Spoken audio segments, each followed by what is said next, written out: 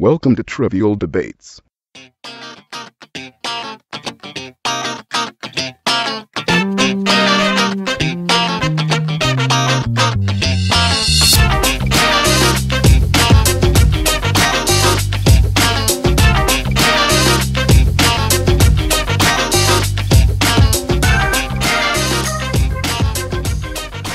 Welcome to this week's edition of Trivial Debates.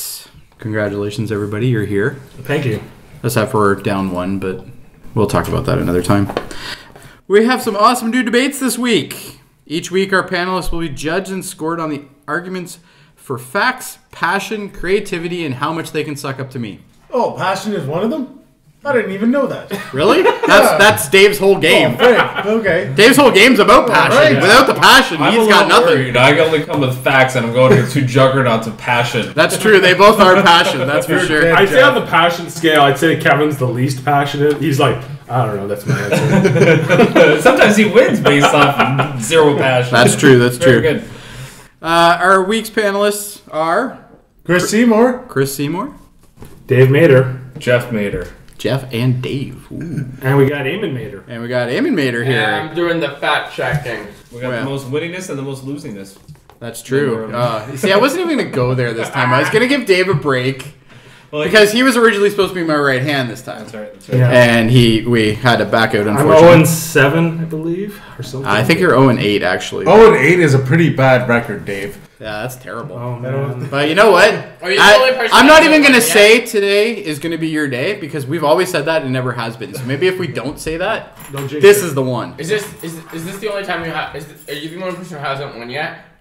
I've never won. Chris is the one. Well, technically, the people who only showed I've up only for been one on the podcast. show one time, Jeff. It's like- Still, I won my like- first time.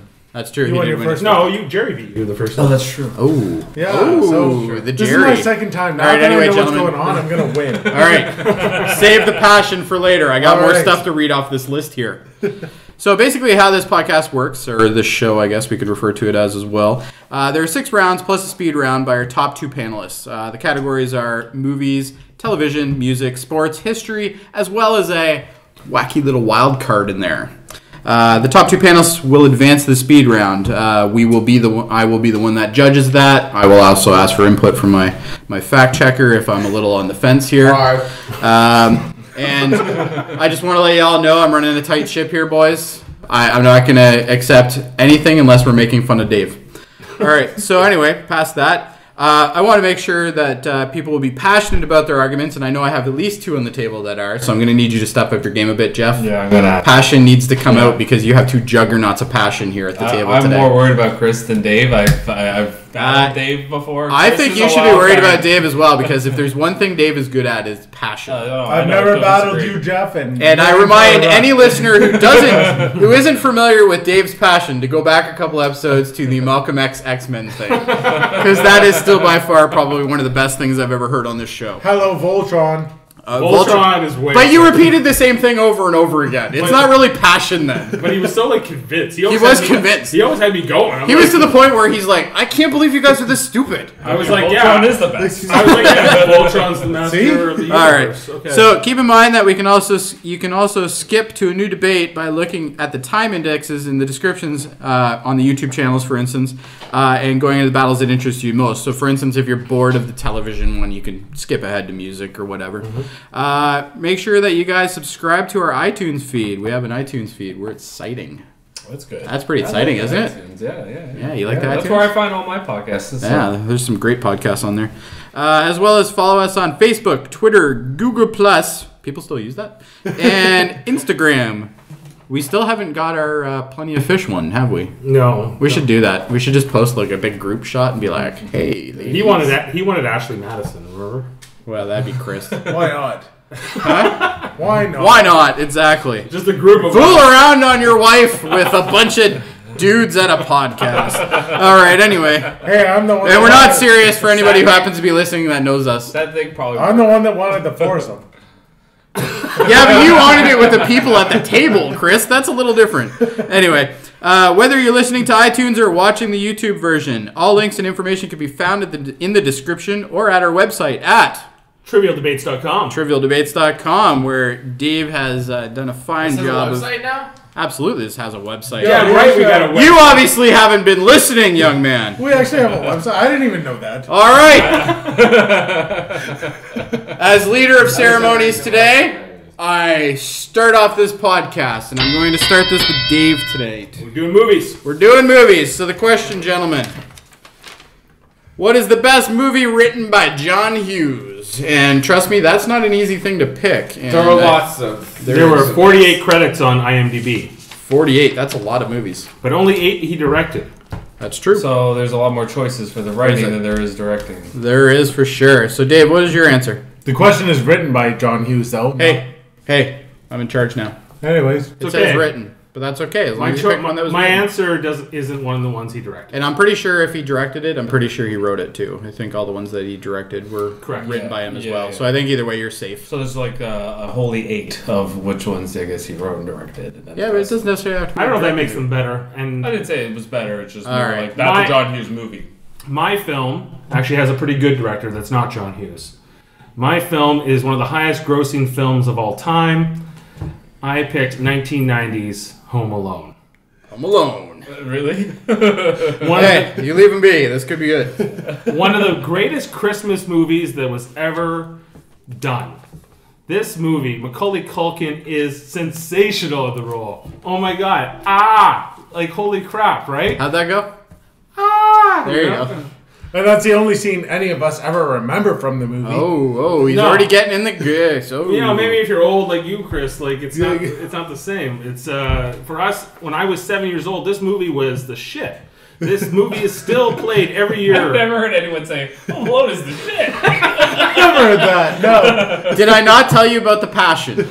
no, I. He hasn't even got into the passion yet, and he's already starting it. Home Alone. It's got one. of- It's got a fantastic cast, a great premise about irresponsible parenting. You know, leaving their kids. That was very irresponsible.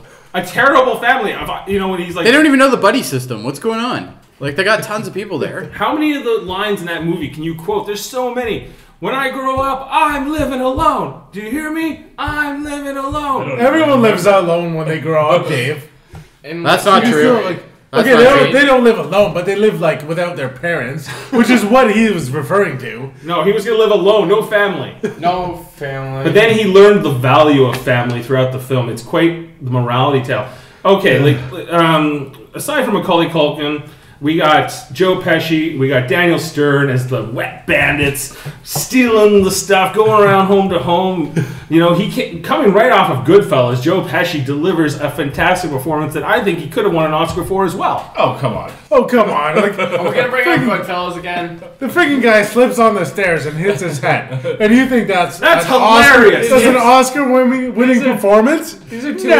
of the dumbest criminals in film history. But that was kind of the point, I think. Oh, the point. totally the point, but I don't know. You could it's take them seriously. That was the whole point. Macaulay Culkin is the most sadistic ten-year-old that ever lived. Like he literally like tortures these two guys when they try to invade his home. He electrocutes them. He burns them. He puts like uh, he uh, paint cans through their heads. Yeah. He he like. the- I can help you, Dave. He makes them step on like ornaments and he Micro machines. freaking puts feathers on them and glue. And He's a micro all that machines. kind of stuff. spider craw- craw- uh, crawls on his face. stands Spider his crawls face. on his face. there are so many memorable moments in this film, but how about the scary old man who lives across the street who apparently kills Listen. bodies and disposes them with the salt? Yeah, there's a lot of creepy moments in Home Alone, like where he's afraid of the the the the, the, uh, the dryer and the washer in the basement, and he's afraid of the furnace. Which never made any sense because if you're a 10 year old kid, which I think he was 10, wasn't Yeah, he? roughly. Yeah, something like that. Yeah, no, 10 year old kid who's smart enough to put like an iron on a doorknob, Yeah. but he's scared of a dryer.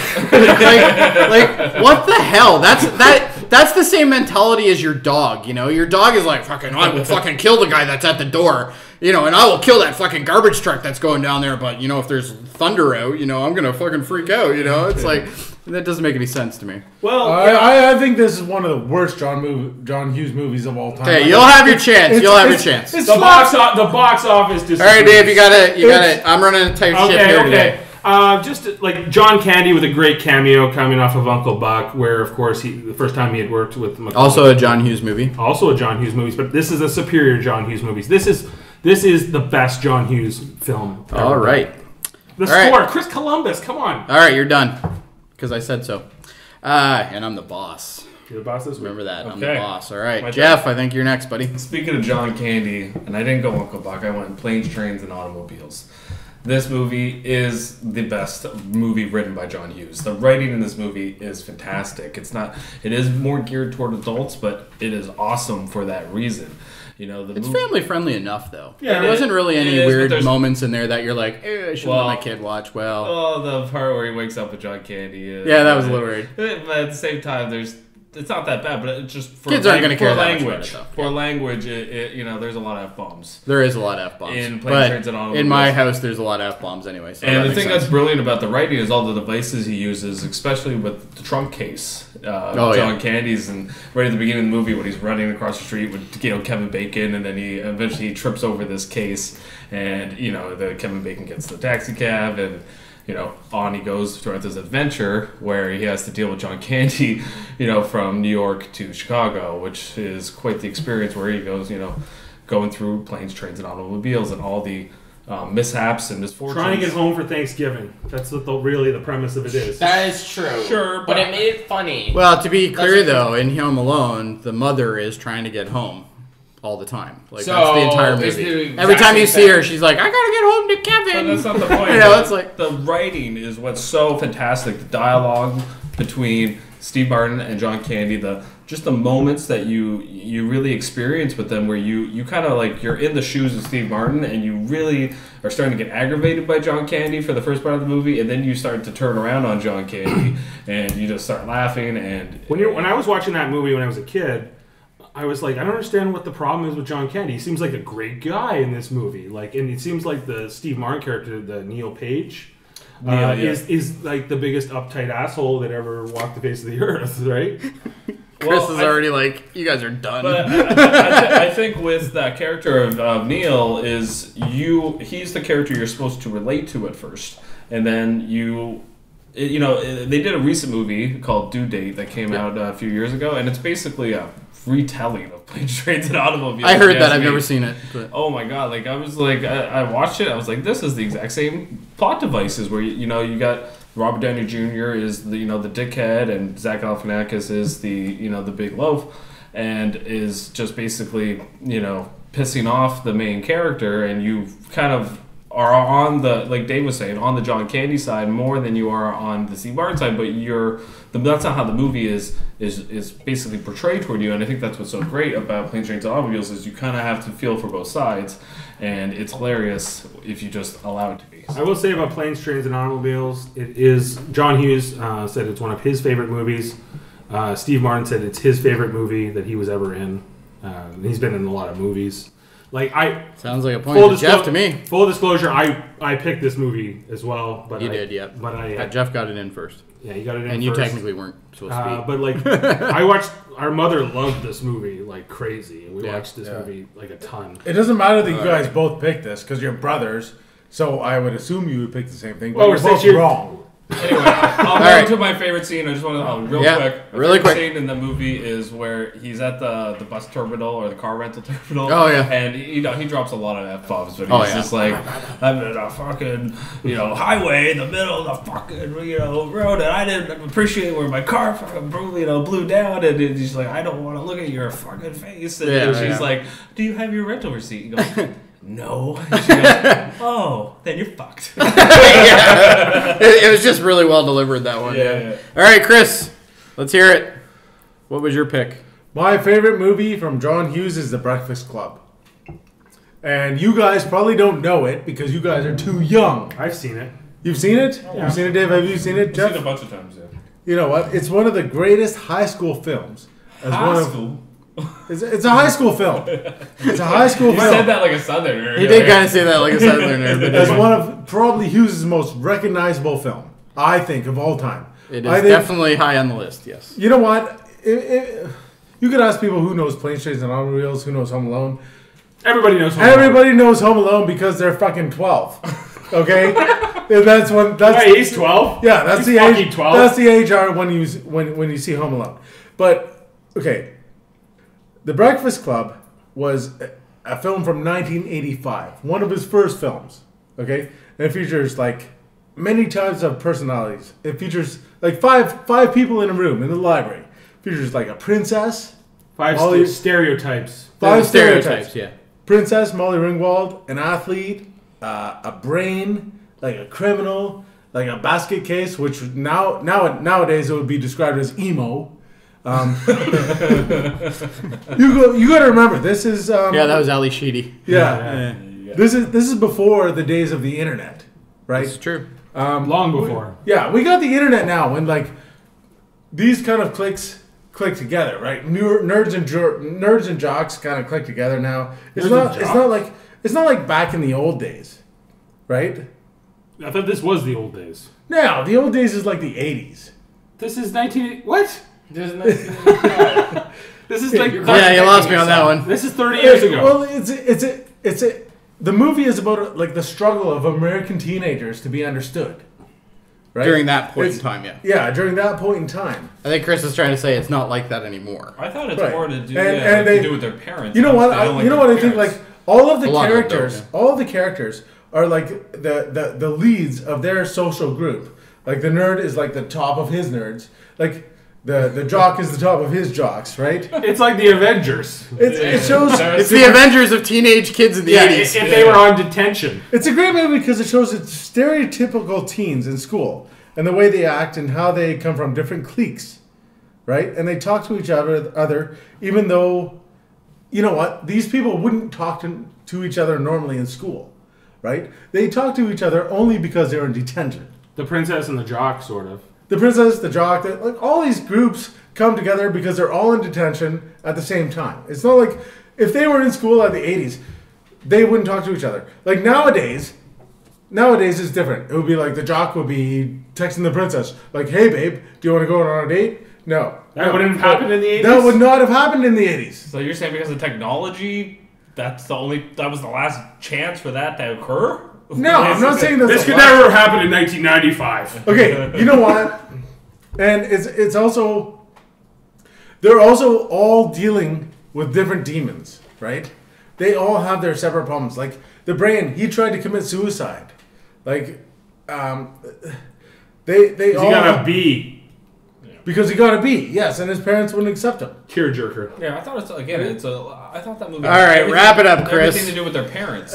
They all talk about their parents not like liking them, basically. So they, like, they're, they're not good enough for their parents. Hey, Sonny, I got a pack of smokes for Christmas Right. for you. Right? Yeah, yeah. And You know what? Okay, maybe maybe you can argue it- that they all found a common enemy in the establishment. Okay, they all they all were against the teachers. They were all against their parents. They were against all- any authority were all- figure, yeah. Uh, but I'd like to think it's something to do with those few hours of bonding that caused them to drop all their pre precautions and just see each other for the way they were. Like it was a chance for all of those groups to get together Yeah. and see each other. Like so, the nerds and the jocks and the brainers and everyone could get together and they could all get together and realize that they were just kids going through stuff. And they all like end up as couples at the end. They- Except for the nerd, he doesn't get anybody.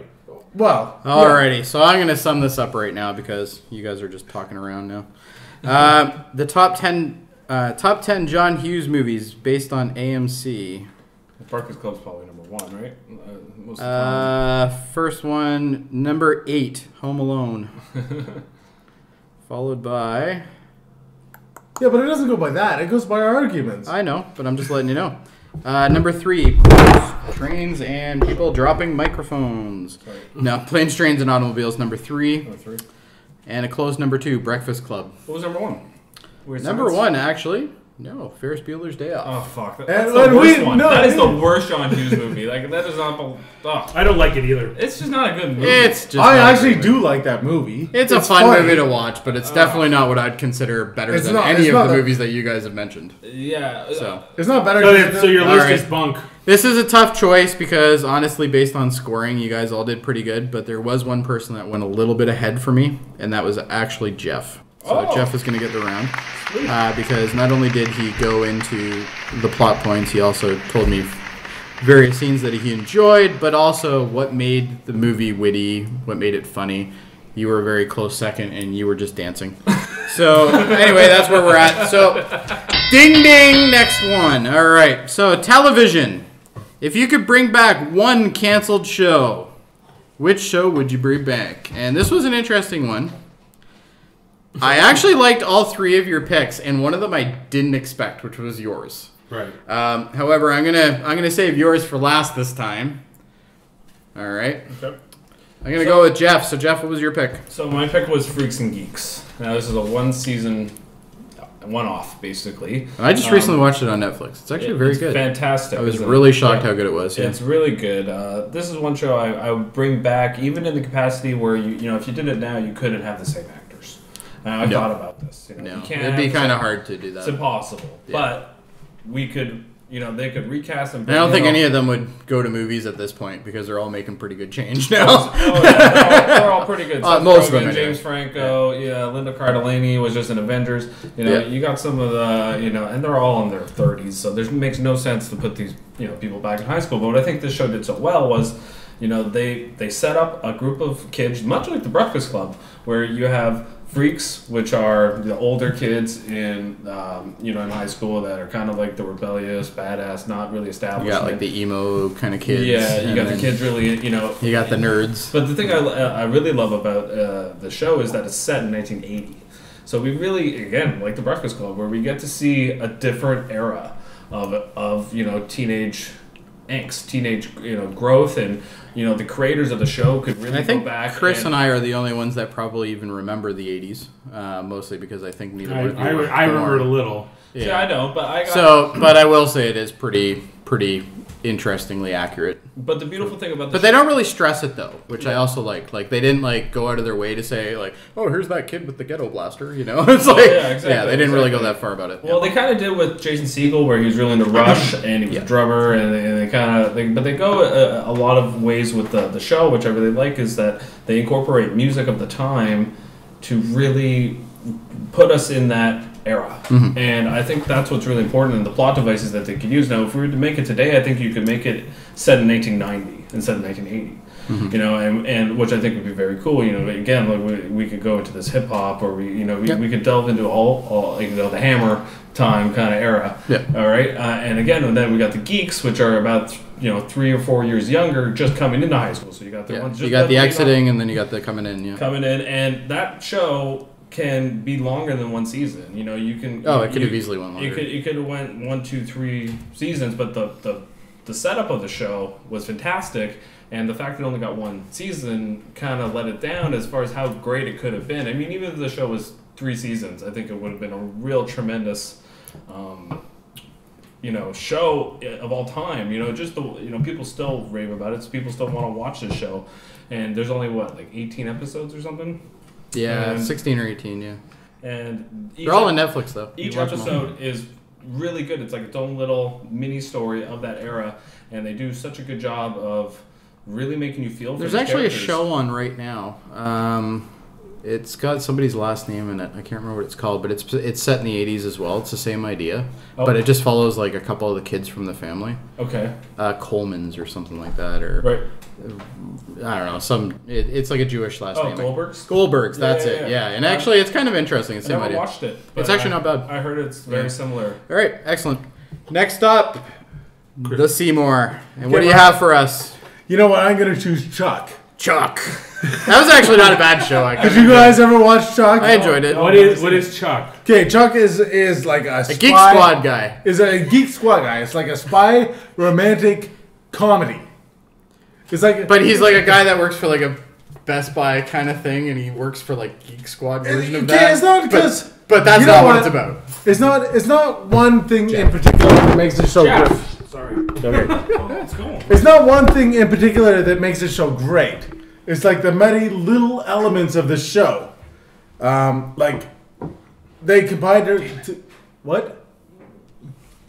Okay, they combined to make a masterpiece of a show. Uh, uh, um, it unfortunately never received the viewership, which is uh, why I think it should come back. How many seasons did it go though? It went, a three, while. It went, it went three Yeah, seasons. it did went three seasons, and it's only because the only reason it went three seasons is because viewers kept writing in. Yeah. and saying Yeah, like they kept demanding fucking- it continue, like, yeah. continue, continue, yeah, it actually had a And really good following. You know what? Okay, this show I don't even need my notes. All right. This show is all about. He's going no notes now. He's Chuck. going naked notes. Okay, he got the intercept in his head. Okay, Chuck is this like guy who works at a Best Buy. He works at a Best Buy. Like it's it's basically a Best Buy. Yeah, it's same idea. It's Yeah, obviously same it's idea. something else, but, But there's something called the intercept, and he gets all this downloaded into his head. So he has all these government files in his head, and all these people are trying to get the intercept from Chuck. It's kind of like that Keanu Mo- uh, Reeves It movie. sounds like the most But- boring fucking But movie but or show Chuck, or ever. but Chuck at first at first Chuck doesn't even Johnny understand- Mnemonic. It's kind of like that, but not Chuck- as futuristic. Chuck doesn't even understand that he has the intercept.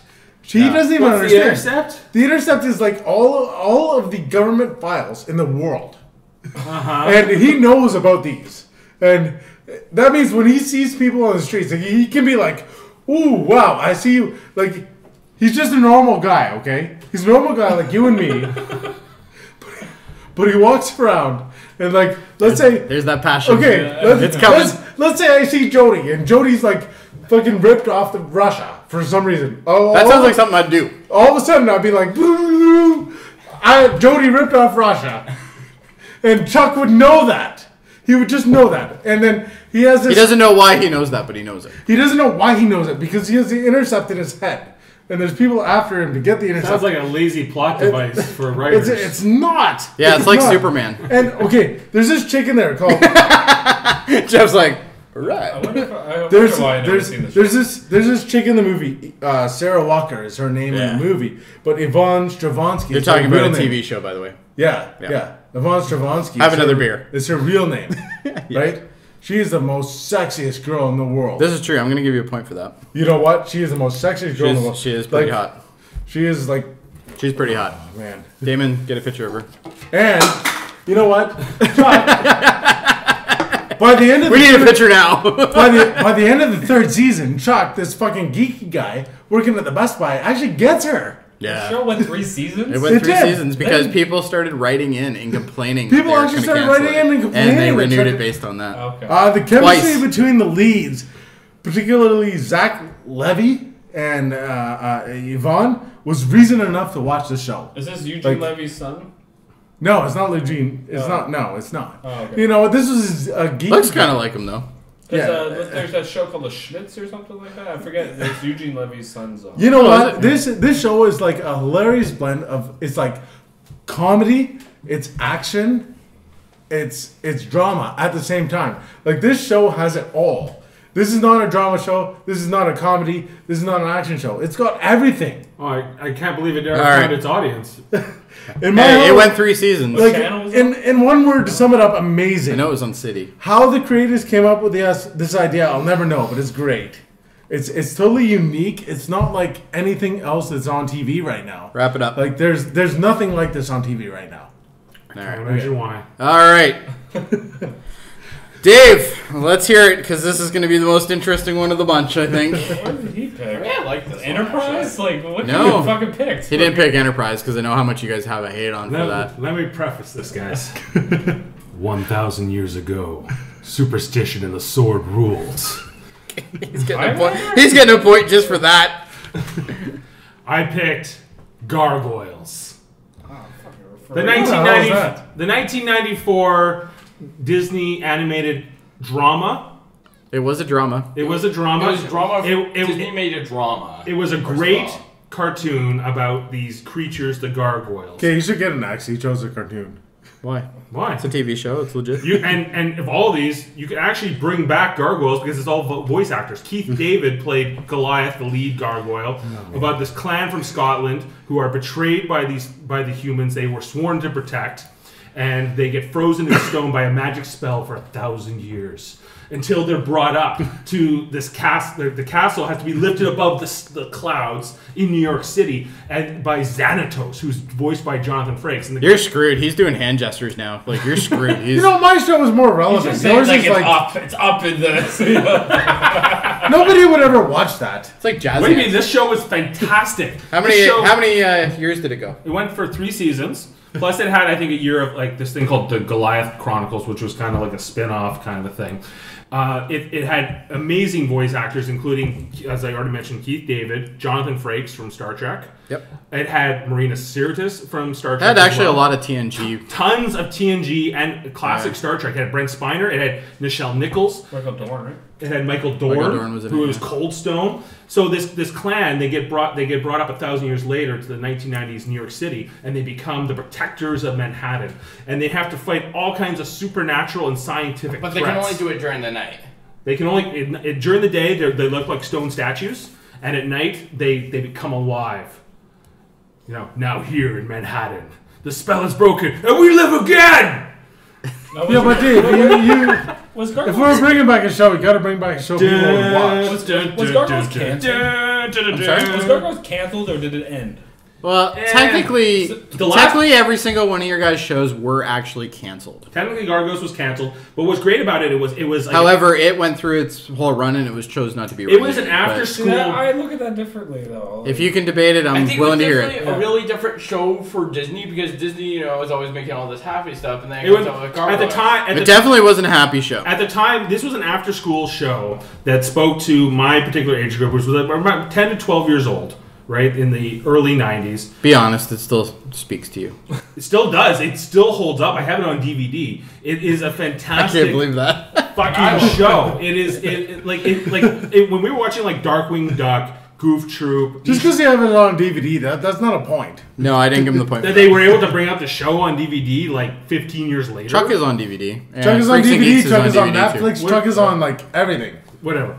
I think Gargoyles is on Netflix Gar- as well, though. Gargoyles was a show that spoke to kids in an intelligent way. Didn't go too over their heads, but it was not like goofy and campy. It was serious. It was in a real serious world. They have conventions every year where people go just to celebrate this show, like all over the world. Yeah, but let's be honest. There's probably conventions for the other two as well. Like, let's be honest Oh, here. people- There's a convention for almost everything People are nowadays. in Okay, well- with freaks and geeks. I'm not going to give you a point for that. Jody, my final point for Chuck is. I'm not done. I'm still making my case. Sarah Walker. I let, a I good let you go on about your silly Geek Squad show. I'm going to give you about another 20 seconds. Gargoyles had so much fantastic drama, characters, arcs. It it, it, and went, it worked with kids. it worked with kids, but also with adults. And it, it, the question is, what show could be brought back? What show should be brought back? This would be so easy to turn to turn over and and reimagine, or just continue the story on because all those actors are still alive. Um, you know, like that's right. that's what would make that show. So, what I want to hear so from. Chris and actually Jeff, because both of you are tied and both of you are actually behind him right now. So, I need a little bit more from both of you. Neither one of you told me why it could be brought back. He did. So, I want to hear why you think that it would. Well, actually, you kind of got Kinda, into it but a he was bit. kind of alluding to like it was uh, it was more like, oh well, we can't do it. Well, we could bring like a new bunch of kids. Oh, oh. But you said said you could bring a '90s version, right? So I want to know if the, the the Freaks and Geeks, the way that we know it now, could that be brought back in your opinion? And if so, how do you think they could bring it back? Would the it be show, the same thing? the show or- with the same characters of the like the first Characters themselves, obviously, the actors can't play them anymore. I don't think. Well, I you don't- could do that, but you could have them grown up.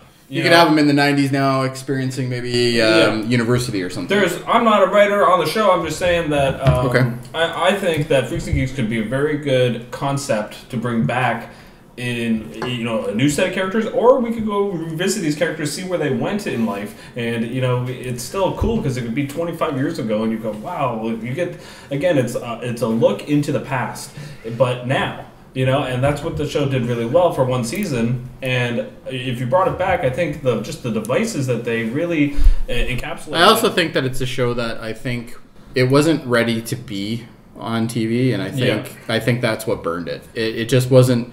It wasn't there yet. It, it could have if they waited a little bit longer and kind of really nuked Right. it out a bit because there was. Let's be honest, there was a lot of dull scenes in that in that show. Okay. I wouldn't say a lot of them, like, but a lot of them through the whole episode's run. I'm not saying like Okay. the entire episode was terrible because it wasn't. It was actually quite good. There but parts. there's a lot of kind of dull moments where you're kind of like, well, where's this going, kind of thing. Sure. And I think if they kind of fine tuned it a little bit more, it might have been a little bit bigger. I don't Yeah, know. That's well, I, I that's would- my opinion. I would argue that no one wants to see gargoyles. Like now. No, that's not true. Why would anyone? But why not? Well, why would anyone want to go revisit a, a cartoon that was popular that long ago? You know, like it's like kind of like you. Why that cartoon? Why why not any other cartoon? You know, I, I got plenty of reasons. That show had so many characters and rich history and but fantastic you could say voice that acting. about, about any show All at that time. I want to hear what Chris No. has to say. I don't So have a lot to say. All right. All I got to say. Tell me why Chuck needs to come Tell back. me All I about gotta- computer brain. All I got to say, and I should get like ten points for this. You can't use a girl. I already gave you one on a girl. Chuck is like Big Bang Theory versus CSI. This this show. Which one are you going for here, though? That's what I no, want it's to know. Big Bang Theory versus CSI. This show is comedic. It's dramatic. It's so you're romantic. saying it's a mix of the two? It's a mix of the three. Okay, Big Bang Sounds Theory like it's a bad versus recipe. CSI. It's no, it's not a bad recipe. Dave, you're wrong because you never watched the show. Jody, you watched the show, right? I did. That was an amazing show. I wouldn't say it was an and amazing show, but it was of- good. All of these, act, the, the the premise, the thought of it is actually an original idea. It's not. It's not like another cop show. It's not like another friggin' drama. It's not. It's it's a friggin' you know Gargoyles comedy. was an incredibly it's original comedy, idea. romantic, and drama There's- all at the there's same lots time. Of those types of shows. Okay. There's not lots of those types of shows. Name think I- one other. Hey. You just said Name Big one Bang other. Theory. Big Yeah. Bang Theory is CSI. not a drama. Big Bang. There's never No, romance she in has those other shows. cultures. There's never This- drama. All This is the all only right. show that combines all all Order! of those together. Order. I have It's the only spoken. one that combines them all together. I'm giving this one to Dave. Why would Because- anyone want to watch that show today, though? That makes no sense. Frank. All right, you That's can't like be saying, like, biased. we'll bring back the X Men cartoon. You know, like why? Gargoyles was even better than the X Men But cartoon. no, but why? I don't. No one, one, no one watches cartoons anymore. They're not Okay, I gotta popular voice. anymore. All right, So all right, we'll go. Hopefully I'm not first then. I'm Yeah, telling no, you I right get it, yeah. Passion won it. Yeah. I have passion for Chuck. Hey, shut up. All right. All right, we're on to the next one. The next one is the music round, which traditionally Dave actually has done really well with. Damn right. So this is going to be an interesting one. He's gonna have to Dave, fight uh, uh, Jeff has won it a couple times as well. Uh, however, Dave is the reigning supreme one. I on this am the one god for sure. of music. So we'll see. Maybe this will push him forward. Who I had a knows? rare. We'll see. I So rare- wait, you're a rap god? I have different reasons guy. for this one because I hate rap. That's fine, but it was hip hop or rap, so you was could have it, picked either. But I hate hip All hop. right, so either way, guys, uh, the question is who was the best hip hop rap artist or group during the 80s or 90s? Or a combination of both, really. Could be either way. We are starting I'm with the excited to hear this Seymour. My choice was Maestro Fresh Wes. Oh fuck. Do you know him? Let your backbone slide. I do not. You do not know him. Let your backbone slide. Okay, his pioneering status and outstanding achievements has led him to being referred as the Canadian godfather of hip hop. true. Do you agree? Gr- Absolutely. you, agree? You know what? This agree. guy is a Canadian godfather. What's his God- name? Maestro Fresh Wes. He uh, he opened for um, he opened for Classified last year. He did. He did. You know what? This guy, he opened for Classified last year. This guy is 45 years old now. This Well, guy is 45 Classified's not- This guy is also really either. This But guy's anyway. also playing for the, at the Pan Am Games Yep. this year. He is 100%. And you Oh, know that's what? that's a that's a something. He became the first, the very first Canadian. Canadiana has to be part of our conversation, right? It doesn't have to be, but it certainly think I'm not going to argue that against all it. time. He, we don't have to go. he, Canadian. he is the first Canadian rapper to hit the top 40. That's true. Very first. Who's the true. second? There's, there's No. You know what? No, actually, Informer. there there are there, there there are others like um there's there's Drake. Yep. Um, there so there are others. Yeah, Drake is huge. I just haven't figured out why yet. Um, yeah, Drake is huge. I'm not saying I like Drake. I would listen to Maestro before I listen to Drake. listen, Honestly. listen, listen. I like when I grew up in the 80s and 90s. Listen. I listened to heavy metal. Okay. Yes, you I did. was uh, friggin' You? Meta- I was like a friggin' Metallica, Oh, yeah. Slayer, Anthrax. That was me. Okay. we went we went to a bunch of shows too. Yeah. You and I And went and in 1989, I was in grade seven. Okay, and we had a, this lip sync contest in my school. Oh god, this is We had this lip sync contest, and these these like Chinese kids did Maestro Fresh, Fresh Wes, Let Your Backbone Slide. That was the first time I ever heard that song, and I was like, Hey, I don't have to be a metal guy. Hey, this is kind of cool, right? And I was like, It was life changing. it was, life changing for me. This guy changed my life. Amen. He's the guy who You're in grade seven now. Have you had a moment like that yet? Is there a band that you heard and thought, "Wow, this is this is different than I've always listened to"? kids and I really doing like like it. the talent show at school? They They were do it. like, uh, We've done talent shows before, but we haven't Yeah. done anything like that. He'll do it. But- he'll do it probably next year because I remember we did. yeah, we it's did probably in around that grade time eight. range. Yeah. You know what I think? A lot of Canadian artists are like kind of complacent. They're like, okay, we're from Canada, we'll just stay in Canada. Maestro Fresh Wes was one of these artists who was like, okay, let's just knock their socks off. Let's knock the socks off the hip hop industry. "What would I And know? What what has he done?" Let your back You wouldn't know anything. the o- you because you were born in 1983, Dave. You wouldn't know. 1983. but you, it's all time. Like I should know something. Let your backbone slide. You don't know that song? So you're saying he's the best You rap should sing it. artist of all time because he has Oh, one to song? the left, it, it, it's not all time. To It's- the right. Of the, eight, of the, I don't know oh, sorry, of the 80s and 90s, he's the best because he has one song. The best. He's the best because that one song propelled Canada into the hip hop industry. The- the- He's the one who, like, He has been credited. if it if it wasn't, he's called the Godfather of hip hop in Canada. We were He's like the arguing- Voltron of hip hop in If we were arguing who's the best Canadian rapper of the 80s and 90s, I'd, I'd bow down to you. It sounds like maybe he would be in the conversation. All right, wrap it up. Is that it? Okay, good. All right, Dave, let's hear yours. I think Public Enemy. Public Enemy. Oh boy. Uh, yeah, you're done. Yeah, boy. Face in your face. Yeah. Fight the power. F- f- f- fight the power. I'm actually fucking shocked he knows that. I'm fucking shocked he picked Public Enemy. Public Enemy is good. Don't believe the hype of Chris Seymour, whatever the fuck he's gonna say. It's it's all it's all about Public Enemy. They were the most activist group of the 80s and the 90s. They they had a, a message. They rallied a nation uh, or international group of black men uh, and also white people in all races who were uh, very tuned in with their with their message and their music about anti-establishment. And, and it was incredibly powerful. Like, like there was the Beastie Boys and there was there was Public Enemy. The Beastie Boys were not hip I'm hop. surprised you They were. pick, I'm surprised you didn't pick Beastie Boys. I would not because they're not hip hop. Yeah, the Beastie are. Boys Yeah. are rappers. They're rapper. They're hip-hop. not. Look at look at What No are Sleep they Till then? Brooklyn.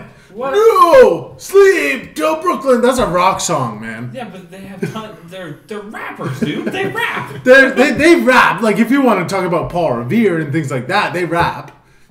But they're not better than Maestro Fresh Wes in the hip hop era. They're not better. All right, anyway, And we're by on the- Dave. by Shut the up. way- saying, yeah, like come on, like you know, Beastie Boys may be a contender against Public Enemy, but I still think Public Enemy much more superior, much more accessible. Uh, the first, by the way, just to let you know, sorry to interrupt you, Dave. Uh, according to Wikipedia, Beastie Boys were an American hip hop band from New York City, they're so hip hop. Yeah, of course. They're, they were definitely hip hop. Oh yeah, listen to Sabotage. Is that a hip hop song? yeah, Boop boop boop. boop. It's not a Yeah. traditional hip hop song, but they are a hip hop band that's by why they were nature. revolutionary. But yeah, anyway. They did a lot of interesting. you're kind stuff. of like a. All right. Either way, But we're not. I'm not arguing Beastie Boys. I'm talking about Public Enemy. even though Beastie Boys would have been a good pick, yeah, I think so. I considered Beastie Boys, and I was like, no, I think Public Enemy much more. you probably would have won me a little bit over on that one too. Yeah, like I thought about Between it, the two, I like Beasties more, but I love Public Enemy. I like so. Public Enemy more. I actually like all three of your guys' pick. Funny enough, And for, Uh, and for me, like they. To, and I can honestly say that I have a CD of all three of these in my when car. I think of rap music, especially particularly in the late '80s, early '90s, I think Public Enemy. I think that they are the most associated with that era, and I rest my case. All right. First of all, You know what? What- shit okay, about what- Public what- He's fucking bullshitting you. You know, he might know one song. I'm good at detecting it, by the he way. He knows one. You know, he knows his guy, but he had one song. My guy was revolutionary. I picked Tupac Shakur. I mean, if we're gonna go with the best of all time, that time, 80s. Now, to be clear, we're not talking the Makaveli stuff. We're only talking the Tupac stuff, right? Oh, uh, we're not talking what? We're not talking the Makaveli stuff that he did. Oh, I'm talking. oh, yeah. By the way, We're talking the whole thing. All right. Oh, for, of course, yeah. Alright. No, that's that. I, I count it. All right, Oh, yeah, all right. absolutely. Because I, I consider that some of his best work. Uh, but, I mean, you might disagree, but I think that's debatable, but anyway. um, th- uh, Who'd you say? Tupac Shakur. Oh, Nothing man, no, Tupac. Who's heard of him? Who, he's that's a nobody. Tupac is one of these guys where he grew up in basically uh, very uh, different select parts of the United States. He got to see poverty, growing up in all sorts of different locations. He grew up in New York, Baltimore, Oakland. Yeah. He got to really see where the black community was coming from, and he, you know, he, he went and trained. Uh, you know, he was in a, an art school in Ba- Baltimore. He learned ballet. He learned poetry. He really, um, he was incarcerated at a young age. He, you know, he he really understood how to put his thoughts together and then he broke out. Once he got out of prison he became an insanely good recording artist and he was able to do things that most rappers and hip-hop artists couldn't do which was really delve into all sorts of different type of songs. He could do a hate song he could do a love song he could you know he, he had the ability to just draw you into his music and really listen to him and not only from you know political messages he had a message from the heart messages from really just where um, you know black the black community in america was. But you didn't have to be black to um, appreciate what he was saying. And i think that's very important from who he was you know and what he was trying to say as a, as a musical artist. Um, i can count more than 10 songs that were fantastic and everybody knows them that knows rap hip hop music. These guys, they're kind of, especially Chris's, but they're one-offs. They're like they're they had one great song that you remember and you go, yeah, I love that song. I wouldn't consider Public Enemy a one-off though. No. Public Enemy, I'm saying It might be a one-off to him, That's what I'm. but it's not a one-off by I- any means. I, I- fair enough, but I would just say Tupac's overall um, impact is way greater than Public Enemy as far as rappers or hip hop. He he defined him and Biggie defined it in the '90s. It it was those two guys that really catapulted that that type of music into the mainstream, and everyone started to really listen. You know, My rebuttal will be like, where are those guys now? And they were Tupac was murdered. Well. Tupac's dead. I know that's the whole thing. And Maestro, Fresh Wes, is playing at the Pan Am Games. Hello. so you know that's kind of something. All right, I'm giving him one just because that's that kind was of funny. something. And, and Dave, uh, All right. Public Enemy's not playing at the Pan Am Public Games. Enemy is not. All right. But if you have to consider where Flavor Okay. Flav has been since then, he's been a freaking reality TV show. To be fair, I want to give Jeff a couple more seconds. Um, so if you have anything else to say, feel Yeah, free. I would just say like, you know, we- we could go into the Makaveli stuff. I, I want to mention that real quick because he, right at the end of his life, before he was murdered, he was starting to transition himself into a new artist, and I think that's really important. That you you guys are kind of one notes where they they are who they are, which is great. But Tupac was was starting to go a different way. He was evolving. His He was music, evolving as music as a musician, basically. Maestro is still re- still releasing new albums.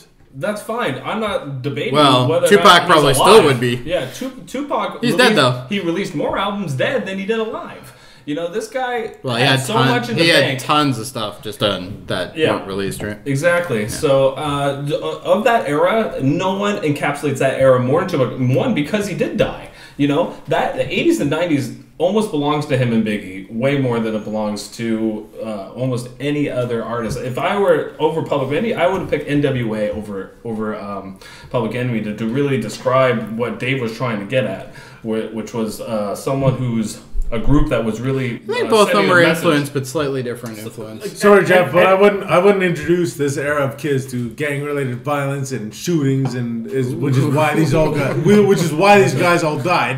And I'm like, my And if you actually show- were debating the NWA, I would have just gave him a point for that. and- NWA, 'Cause that was a good rebuttal. But NWA, there's like Ice Cube still alive, Dr. Dre still alive. Yeah, but like, yeah, easy, easy. Only one. that's Listen, dead. Yeah. It's not My guy- guy, who lived. Maestro, Fresh Wes, is, is like a good guy. He's not like All right. I, I hate the hip hop era. All right, I need to settle everyone's this always because we got to fighting- keep going. All right, so Everyone's always Hey, fighting and hey, fucking. Voltron, settle down. All right, It's gonna be clearly there's name- one person way ahead right sorry. now. So what I need from you two to try to make it up because Jeff is clearly in the lead here. Um, like? I want you to name three songs that we would know that Maestro did. Uh, Other than- let your, let your backbone slide. Yep. Little repetitive. And And we're done. Okay, so Yeah, you. I, I don't even have notes, and I can tell you: fight the oh, power, can't repress the cause. That's true. fight the don't fight the power, don't believe the hype, and back in black.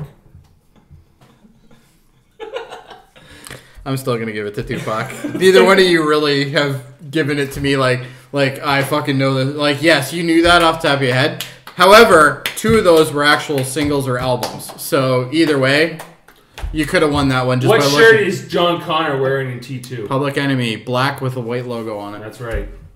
I win. No, you Tupac was in movies. Tupac was in a lot of He movies. was in Janet Jackson movies. I'm giving that one to Jeff.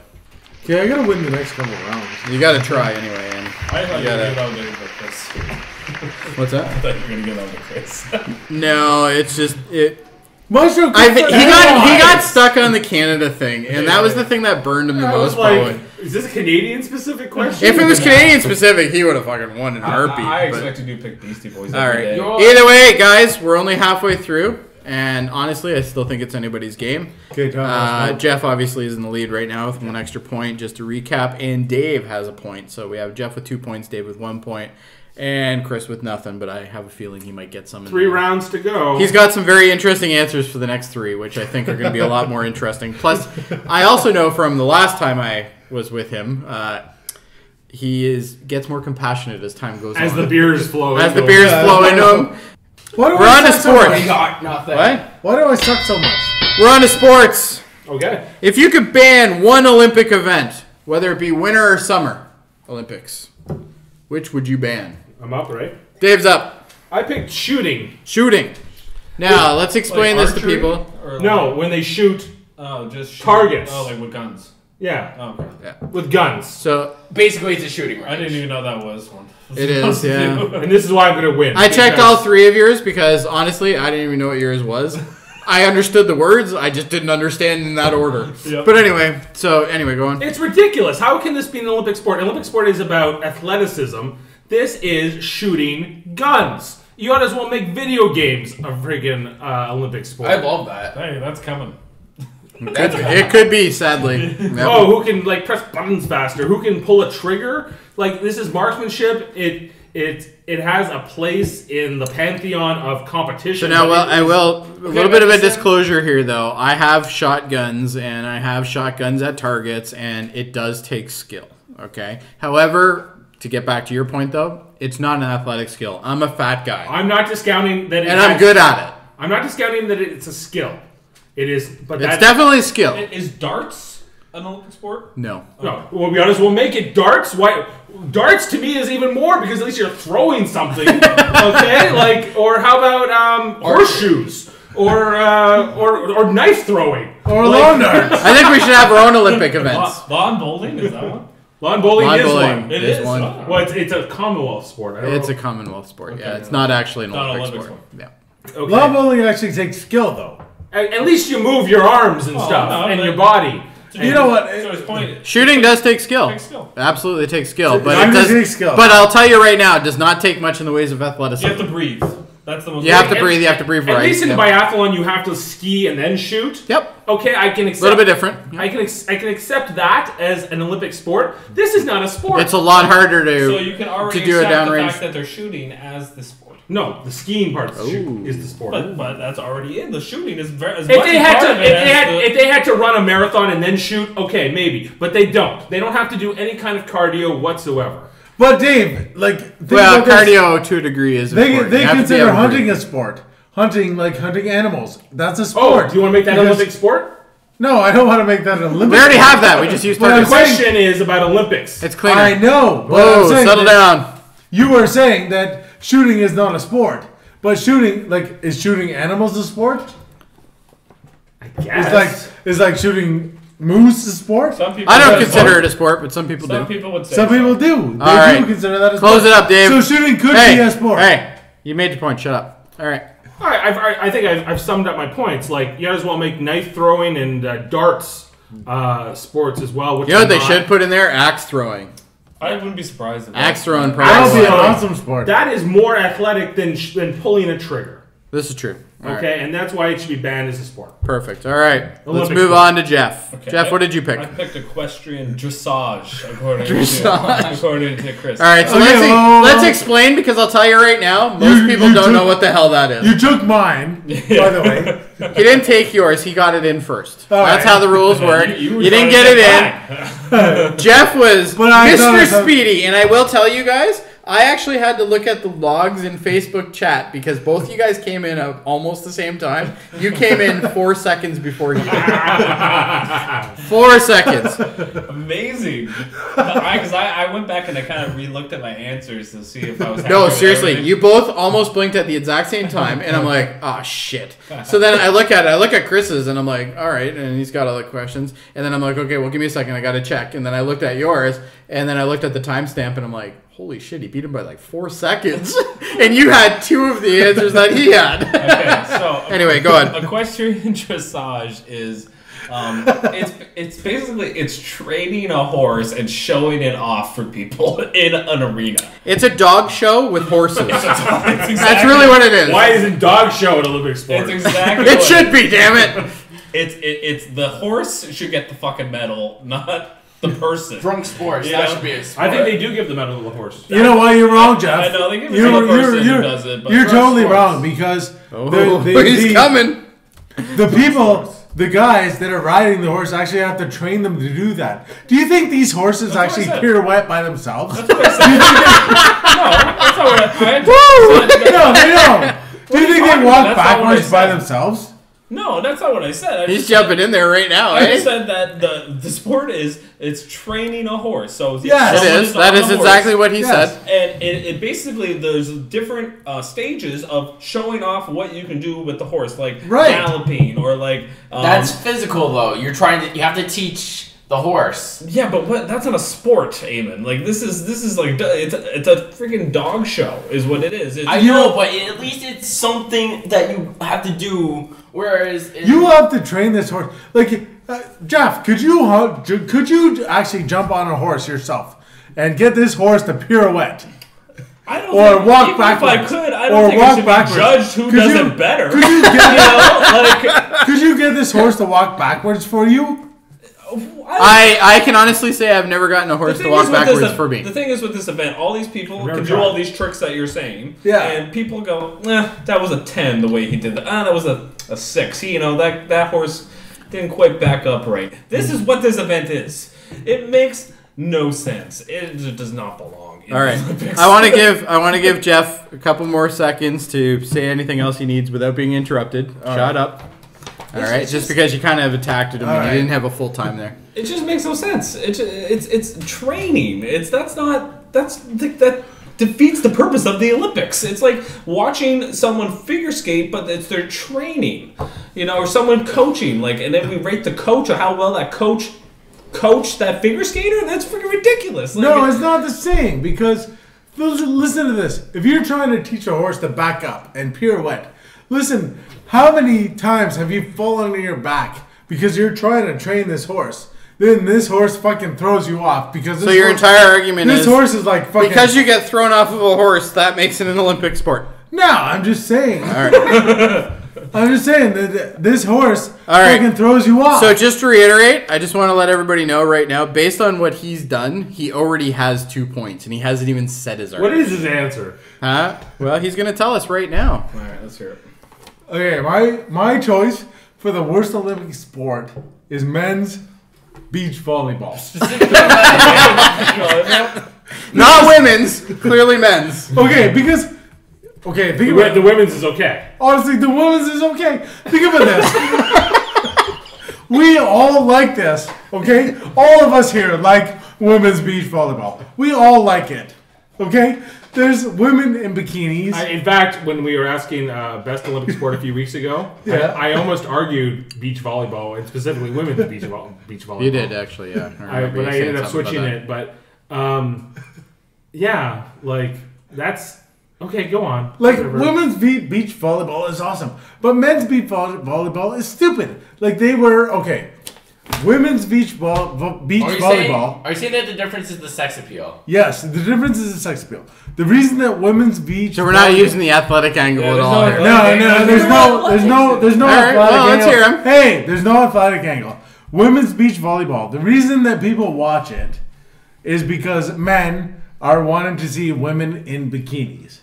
They are not watching because they want to see the um, athletic value. Now, men's beach volleyball Well, I'm sure some is men do, but anyway. who wear full size shorts. They wear t-shirts. It's not like they're they don't have the sex appeal. There definitely is a difference between the outfits between the two events. What if you're what, Absolutely. what if you're gay? The Olympics isn't all about sex appeal, though. It's Who a- wants no! to watch it?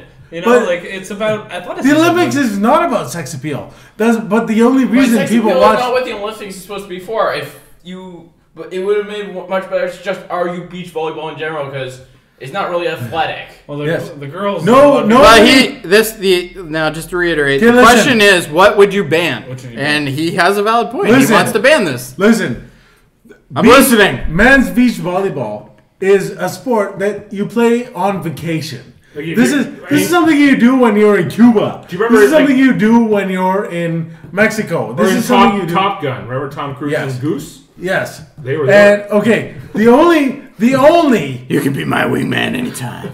the only teams that actually have a chance is USA, Brasilia, and Australia. And the only reason they have a chance is because these are the only countries that actually have the free time and the beachfront property to actually do this sport. Are you kidding me? There's tons of places that have free time and beaches. No, there's not. Oh, yeah, it's called Africa. Canada has Yeah. Canada There's a beach over there. I saw them playing Any volleyball. any ca- Yes, but is, country. is Canada over there playing beach volleyball, getting our Olympic fucking volleyball team ready? we have no, a team. We, they're Canada, not doing it. Canada has a team. Okay, not only that, they don't even play on the beach. They play in a friggin' arena where they bring in sand. That's right. It's outdoors. It's outdoors, but, But, they you're bring in saying sand. about the men. So it's like- like the women, all these things are okay. The women's are okay because we are all men and we love watching But if women's you- volleyball. if you already- we do we do not want that to go away. if you already If he wins up- this category, it's only on passion. I'm telling you right now. we do not want women's volleyball, women's beach volleyball to go away. We love women's So, beach other than the sex appeal, Can yeah. I put? is there one thing that's different between the men's and the women's that you think that the men's is just not worth it being there anymore? Because the men's Don't okay, say sex appeal though. I need something else. It's not sex appeal. Listen, the men don't watch men's volleyball, beach volleyball Gay men because do. they What about don't the women? care. What Gay about men the, might. the They women don't. would Ca- watch they it. don't care. What about the the gay- women? The women actually don't actually don't watch it because you know even if these guys were wearing speedos, okay, and their dicks were sticking out, they wouldn't care. Because women don't care about that kind of shit. Only men care about that. Men care about Okay? that. So are men so care are about calling men. men Men care about seeing boobs. Are you calling men Women sexist? don't care about seeing. dicks. Okay, all right, I'm calling it. I'm done because honestly, I just don't want to fucking hear it anymore. I'm gonna give it to him. I'm gonna give him. I'm gonna give him men's beach volleyball. Oh, who would you have given it to? I would have given it to. I think I would have given it to. He he made a good point that it's not a sport. Shooting. Yeah.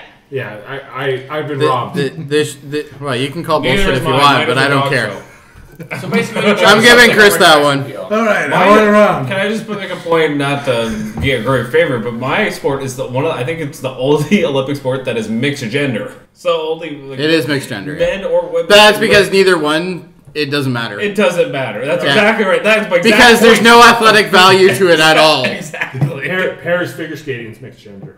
By the No, way, no, no, no. That's different though. That's that's where you're having. But there is athletics uh, That- involved no, in no, that I'm one. saying like it's an event where men or women can win it. Like uh, you know, like, like In the goal- same. All right. Yeah. Either way, let's go to the history question, which is traditionally probably the by the way, longest Jeff, question my, for us. my first choice was uh, um, equestrian I dressage. Yeah, yeah, yeah. And then he's like, "Fuck it. Well, I'm gonna make sure I write something about that so I can fuck him up." and he actually got some points on you too, which is pretty good. What, All right. I don't understand how shooting wasn't in the conversation. Because you didn't keep going with it. You said the same of thing over and over again. History question. All right. Anyway, the history question: Which country could trigger the next world war, oh and boy. how? I did specifically put and how uh, This because my- saying my- it, saying the top three, which is basically what you guys have done, Russia, um, isn't going to win it. All right. It's how is this going to happen? All right. So that's where we're at on this Actually, one. I don't need my. All sheet right. for this. So anyway, I think Dave went last, so I think uh, you're next up there, Jeff. All right, well, I picked the most obvious one. Let's face it, North Korea. I wouldn't say it's the most obvious, but it is in the top. Anyway, oh, come on. sure. Which country is the most insane Well, country? wait till I get to mine. It's not. It's, yeah. ne- it's neither of yours. North Korea is the most insane country for this reason. They have one, they have nuclear weapons. Two, they have an insane dictator. Can I They rebut have a already man- no? they Yeah, I'll give him a minute. They have a million man army that you know is basically brainwashed to the leader's whim. That it's not their faults, but it's the case there. So they are dangerous. They are basically a communist regime. Um, you know, comparable to uh, a Stalinistic Russia, which is very scary, but with nukes and with a lot to prove because let's face it, the the leader uh, Kim Jong Un uh, eh, doesn't have the best self esteem. Let's face it. He already got blown up in the movie The Interview, so don't worry, he's fine. He's What's done. your Go point? Solved. And- and how did It he- made fun of. And how did he Does react that make to him better? How did he react to that? He actually terrorized. People. yeah, he was pissed off and he hacked Sony and he, you know, No, no, you you you are speculating that he hacked Sony. Yeah, that you was don't never know proven. that. There's not, That's not proven. Let's face But it. there's a very good chance. Let's face it, he was pissed off and he was not happy because he didn't want that movie uh, and that propaganda in his country. This guy, if anything is going to happen as far as a world war, is something's going to happen in the North Korea where people get wind that he is not a god. He is not a man that can climb mountains or, you know, peas gold or whatever the hell they come up with. This guy is once the the, the, the country, the nation is able to turn on him it's going to get scary because he has so much capabilities and power with nuclear weapons and a, a very large army that once that happens, he's going to go nuts. And then we're going to be uh, into a uh, forced into a situation where if he nukes a country like uh, Japan, who they hate, then it's it's it's you know it's, it's World War Three, and you know we're going to war. Seems like Asia War Three. America has a treaty. They have they have um, Just go. America will get involved no matter what. They have Jeff's mili- going down. They have Alright, we'll military see. there. Um, they're the scariest country out there by far. I mean, uh, if we're going to talk about um, just overall irrational, uh, irration, irrational thought, irrational behavior, it's going to come from North Korea. The other countries, at least, willing to discuss and talk to. Uh, you know, as far as I'm guessing, you guys probably uh, pick countries like Russia or China. Um, and Well, we didn't. well, then I don't know who the hell you Um. I went into this. Well, we'll see. All right. Um, Sum and, it up. And so, just overall, North Korea, they're the scariest because of their capabilities, their leader, and what could happen if their nation is able to turn against them. And once that occurs, or if it doesn't occur, even if you know he just gets pissed off in general, like like, like uh, to the fact that a movie can piss him off so much. What if the you know uh, What if the- something bigger happens? What if something bigger happens where the CIA tries to infiltrate and then he catches them? Something like that occurs. Uh, Bad news. If Alright. he hears this, All right. Yeah, well, Yeah, he's not going I to care about this. I'm sure he won't care about this. But The five people that listen to this will be fine. All right. Let's hear it from you, Chris. What was your pick? uh, my pick was Israel. you should have just basically said the Middle East. No, no, I choose Israel. It specifically Um, said um, what country. The Middle East is not a country. Yeah. Um, because Israel is actually mainly Jewish. Yep. Uh, they got a, mu- a lot of Muslims there. They do, and they're surrounded by uh, Islamic countries. Why do you keep on looking at me when you say that? Because he's teaching trying you. to teach you. I'm trying to teach you. Trying to Quiet, teach so quiet up and listen to his answer. Listen to Uh, the old man speak. you. They're surrounded by like India, Pakistan. Let me like tell you Syria, something, Buzz Sonny. Syria, like Turkey. There, there's Iran, Iraq. There's a lot of countries over there. All right, let's let's focus on your argument. surrounding Israel. He can learn on Wikipedia. Okay. The thing is, uh, the, the the first thing I want to do is rebut Jeff. All right. Okay, because there's no way that North Korea is gonna start the third world war. I mean, Why is that? the reason is, if is if North Korea ever decided to attack, let's say they ever decided to attack anybody, every country in the world would just bomb is uh, North Korea.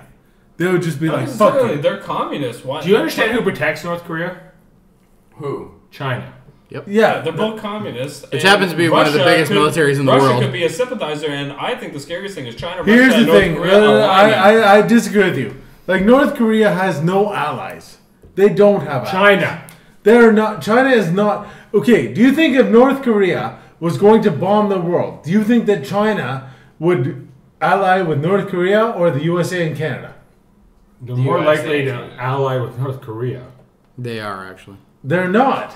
It depends who They're they not. attack and That would why. never happen. Depends on the reasons. If they were to attack China, yeah, they, I agree with you. But if they were to attack like a Japan over, you know, a certain reason, it all depends. If it's CIA, like I if said, they attack South well, Korea, Okay. Well, here's All right, the let's thing. let's hear your arguments here. Israel. Okay, Israel attacked Syria last year. Right over um, a Chinese uh, over um, a death over a death of a teenage guy. Who's going to attack Israel? There's lots of contenders. Yeah, yeah. Who's going to attack them to make it a world war? Doesn't matter. Hold on. Well, Kind of does matter, but all right. matter. let's It's hear what it. we're talking about. Okay. All right, Syria. wrap it up, Chris. Syria has been attacking Israel for years. Okay? So it's Syria has been attacking. Lebanon. And yes, so what I think is ISIS is going to move down into Iran, it's going to move down into Syria, it's going to start attacking Israel. That is going to start the, the world war. It's not going to be Korea. It's not going to be North Korea. Like, if you want the real, like, uh, my honest opinion, it's going to be Israel that starts the, the next world war. It's it's going to be them because um, they have already taken out nine bases in Syria, which they think are strongholds.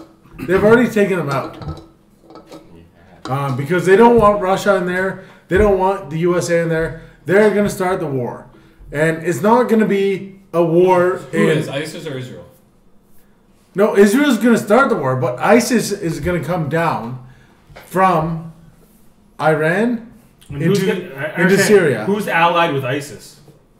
Nobody's allied with ISIS. ISIS is, gonna, is just going to take over Syria because Syria does not have that strong a government. They're going to get wiped out by Israel. Israel has They're the strongest wiped out. military in the world. Israel has the strongest military in the world, so that's why they're going to start the next world war. Okay, but it's going to end in like a month. It's know? not going to end. It's not going to Yeah, end. What will happen? hey. What will happen is because Israel has so many strong contacts.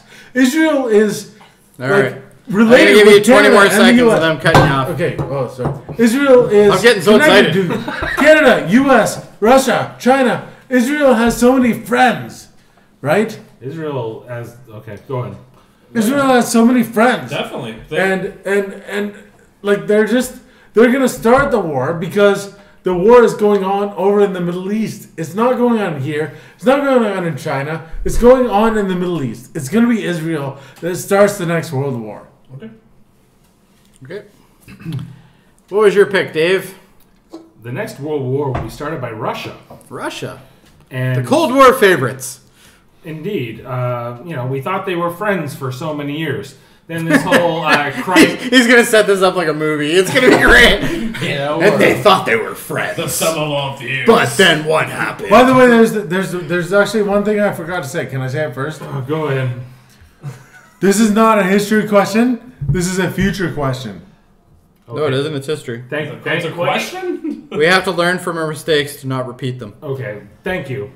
Um, and I'll tell you why. This whole crisis last year with Crimea, where Russia basically annexed a whole section of Ukraine and it violated a whole bunch of international treaties, created a lot of tension, was because it, it, it obligated the United States and the United Kingdom to have to come in. Of course, they did not. Germany as well was obligated to help, and they all did not because why? nuclear deterrent. And Russia and Vladimir Putin, a fucking insane dictator, said on the record that he was totally prepared to use nuclear weapons if it escalated.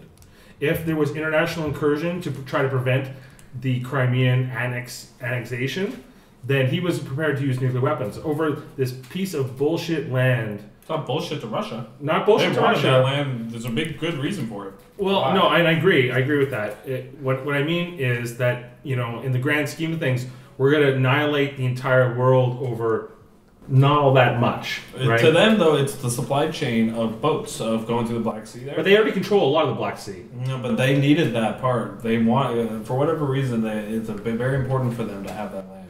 Right, and and and Russia is the true threat in the world today, and we are headed for another Cold War. And and what was the Cold War? It was the threat of nuclear war and the true World War Three, and we're back at it. And and since Russia has has expressed a um, a willingness to use them openly on the record, they to me are the most credible threat for a, a next world war, and it's truly a world war. In these two cases, they would be regional wars. I don't think they're. Um, North Korea. I think either one of them could be escalated North to a Korea world for the past like uh, ten years has been trying. to I think out of all of them, a though. Russia would definitely be the easiest one to be a world war. Russia fires their nukes at U.S. U.S. fires their nukes at Russia. And then we have Matthew Broderick looking at the fucking screen playing chess. It's going to be a nightmare. If it goes to nukes, then it's a nuclear war.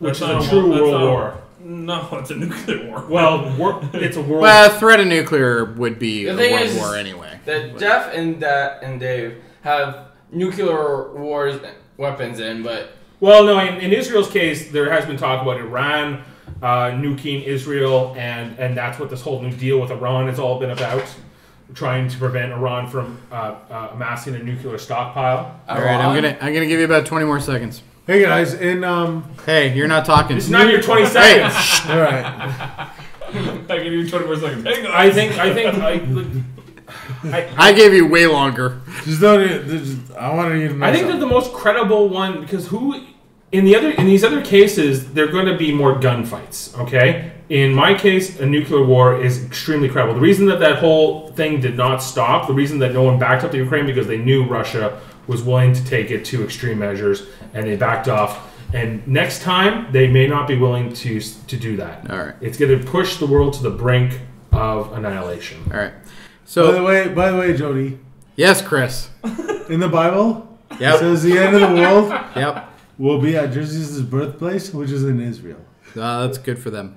It was also a short And story. Jonas betrayed him, right? That's So, that's not Jonas necessarily Judas. World War Three would be. You know. World War Three definitely can't just be the end of the world. That's about Revelation. all right, all That's right. about Revelation. Don't is this about lost? I can ask a question to try, try to separate the herd a bit. Um, honestly, Chris, you don't have a pot to piss in. Um, What? You really don't. All right, you made two good points, and one of them was against somebody else. I thought he was in the lead. No. so close. does that mean he's out? Oh no, no, uh, not at all. Not No, yet. you're not. Not even close. All right, get back here. Don't be a whiner. All right. All right. Either way, I still want to hear your answer. I'm going to let you pick one country that is going to get into it with the country that you picked. I want to know who it's going to be and how long do you think it's going to be for? All right, before everybody gets involved. All right. So, you, You get to go first. Uh, I am going to pick South Korea. South Korea. Why? South Korea is one of these countries that if they're poked, it's not going to be good for North Korea and vice versa. And I don't think it's going to take much for. And I mean, we have had a lot of peace there for you know, well, I wouldn't say peace, but 60, 70 years. That since the, They have a the- DMZ and all yeah, that. since the end of the Korean War, which I, I will say say about the Korean War that that war. North Korea did not give up. They did not fail. They did not lose. That is why North Korea exists. All right. Um, with South Korea, if something were to occur, like There's not going to be this long an answer, Jeff. no, I'm just trying to. Just, I'll cut him off. I'm in charge. You're not. Just trying to explain it. Um, with if South Korea got into it with North Korea, then it becomes a much bigger issue. And that's why it, I'm just saying that's where it would start. All that's right. the spark of it, and that's the Oh, place by where the- and then, by the it, way, the and then it goes to just make Western powers, and then we see North Korea get backed up by Russia Think it's a and idea. China. So then we got Russia, China, North Korea all together There's against the trigger. world, and then we have a World War Three. All right. Who, who's going to start it with them? Who's going to start it with Israel? Who's going to start? the What war country with is going to start a war with Israel? Is it Syria? Syria. Yeah, come on. They're right next to each other. Worst choice. What? All right. I don't even need to hear anymore. All right, keep going. What's yours? Iran's the most more credible one. Um, Syria's almost wiped out And already. who's going to get into it with Russia? NATO is going to get into it with Russia. NATO is a country. They- they- NATO is an alliance of countries. We just described. I uh, said one country. The United States. All right, We go just ahead. described uh, how NATO backed down to Russia. In that one part- in- I instance. think- Hmm, good point. But that's how that's how wars begin. There's always a series of engagements, uh, conflicts that What did I win so precipitate far? the war. You won the last one, sports. basically. All right. You then- won with men's beach volleyball, which I'm shocked of, but you made a great point. Even though it was absurd. He made a good point. He made a good point. about sex Entirely completely sexist. All right. Um, yeah, no, it's well that World Wars. Look at the history of the two World Wars that, that predate. They were about alliances, right? Franz Ferdinand was assassinated. The whole world goes to war. Why? Because Austria-Hungary was allied with Germany and Italy. But I also think you can agree that every world war was started by two parties starting it, and then everybody got involved. True, because there are treaties and alliances, and NATO is the North American Treaty Organization. Yep. And treaty organizations are what bring multiple countries into a, a global But conflict. Jeff made a very good point, though. They already backed down on that. once. Yeah, but there's once a, is enough. Again, there, uh, the reason why I say that too is because there's a nuclear deterrent. Not that there isn't with North Korea, but I don't see All right. Russia as um, crazy as North Korea. North We're not Korea going any is farther on the national- history because I want to be the guy. that Jody, you know what? shortest Just one. declare me as the the winner. Listen, Israel has a lot of Muslim countries around there, okay? This is like a Jewish country, Israel, surrounded by fucking Muslim countries. Where do you think the war is going to start? Honestly, you think it's going to start All because, right. I've made my choice. Jeff gets it. Oh. Okay. Man, So let's let's just uh, uh, but just to let the audience know, we're Jeff is now at three, which means he's now finalized the spot into the speed round. There's no debate. This is just gravy if he gets this. This is just this is just uh, an extra fuck you if he gets this. like that's really what it is. And I expect if Jeff does win this, I expect him to get up and just give you guys the finger and go eat me, eat me, and point to your crotch. You know by the way, by the way, You know what? I want you to do that. Jody, you'll see in my notes that I have many notes for for a lot of things. Yep. Like, but for Wait. my my last answer, actually, I I don't need any notes No. because I know I'm gonna win. All right. Well, we're gonna see, and Yeah, you have a I chance. and that's the I know you have a confidence you need to bring because Because because right now, because I uh, don't need my notes. Chris and. Chris and Dave are at one point apiece, which means if either one of you guys win this this round, you'll get to go to the speed round with Jeff, who's already solid the spot. Right? All right. So our wild card question tonight, gentlemen, is what movie should be made into a series that hasn't already? So this is obviously we can't take a movie that's been moved. I go first. You can absolutely go first. I was actually going to ask you to go first. So Okay, perfect. Yeah. All right, I picked the Alex Cross movies. all right. the what? Yeah, I know you guys are like Like- confused. I don't even know what that that is. Okay. Well, he's going to explain it if you'd shut All up. Okay, uh, there's this character from books. His name is Alex Cross. He's a, a detective in Washington D.C. Now, there's been three movies made about his character. One is called Kiss the Girls. One is called Along Came a Spider, and the last one was called uh, This is Alex. Morgan Freeman. Morgan Freeman played Yep. two of them. I forget who played them in the most recent movie. The most recent movie really sucked, but those first two movies were really good. So if this movie really sucked, why would you want it to be a TV show? I didn't. I'm not. I, no, that's that's the third. That's not the third movie. He's bringing the game. It's not the third movie, and I'm not saying uh, it's not my favorite movie. Honestly, but, Jeff doesn't care if he wins this one. no, I just want to throw out um, why I picked it. Uh, Alright. I picked it because, um, all right, there, there's tons of cop mystery dramas. Let's face it, there's tons of them. But this one I find very interesting. and Dave has all of them on his PVR. But this one I find very interesting because um, of where it's set in Washington D.C., Baltimore area. Um, the yeah, name- like there's not enough shows on TV already about that. He's really digging in today. I'm liking it. the nature of, uh, of just the mystery. Jeff's not an easy guy to dig in though because he doesn't get upset. He just keeps going. Basically, though, just the what's really interesting is you delve into Ooh, the pop jump. the uh, it's basically it's hunting down a psychopathic killer.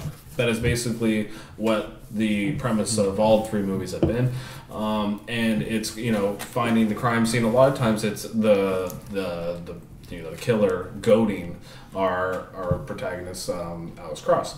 So uh, what we really get to um, understand is uh, his character is very interesting just to watch as far as an audience member goes. Uh, we get to you know uh, kind of like Silence of the Lambs where we get to analyze just how messed The up thought the, pattern. the thought pattern, how messed up the serial killer is. Silence of the Lambs would have been a better choice for you. well, uh, That would have been a great movie for, to be a TV show. It's it's Maybe you should have picked it. it's, Maybe I very, should've picked it's that. very similar. It's very similar. It's All right, there's let's- similar. let's And- wrap it up, and- Jeff. And Chris, they already made a TV show. It's called Hannibal. Yep. And so Oh, yeah, they I did. couldn't really. Oh, that's that that's a burn for you. I'm Uh, sorry. Couldn't really pick that. Yeah. I, bur- I burned one. you Yeah, for that so one. this is why I re- and like who doesn't want to see a leading black man on TV? So that's why. Oh, there you go. He threw in that extra one just for fun. All right, Chris, let's hear what your pick was. Okay, my pick was Saw. Give him, a, give him a second. I want to hear it. You, you guys are all. I want to know how you can adapt this to TV. That's really what I want to hear. You guys are all All laughing. right, Chris, bring the You bring the heat. You know what? You guys are all laughing, Bring but this this is my money maker. This is this is the question that will bring me the money. Okay. Because listen, John Kramer is like played played by Tobin Bell, who is an awesome actor, by the way. Do you know this guy? No, Yeah. Tobin Bell? Yeah, yeah. Come I've on. seen The guy Saw plays, though. The guy So plays Jigsaw. Jigsaw. The guy who plays Jigsaw. Okay, all the Saw movies are about him. And what I think is that there will be an awesome series created around Jigsaw's life in the past. Hmm. Like I don't I don't want I don't want to see like Jigsaw in the future. I don't want to see like Jigsaw creating puzzles or You want to see what traps created. Jigsaw? is I want to see what created Jigsaw. I want to see like Jigsaw when he was like an 18 year old. Like it's kind of like Kind of like they did with the Bates Before kind of like kind of like what Bates they did Motel. with kind of like what they did with Bates Motel. Uh, yeah, that that kind of thing. Like I want to see. Okay, we already know from the Saw movies that uh, um, John Kramer uh, had a wife named Jill, right? He had a, a kid. Uh, that kid was Had being the keyword. Yeah.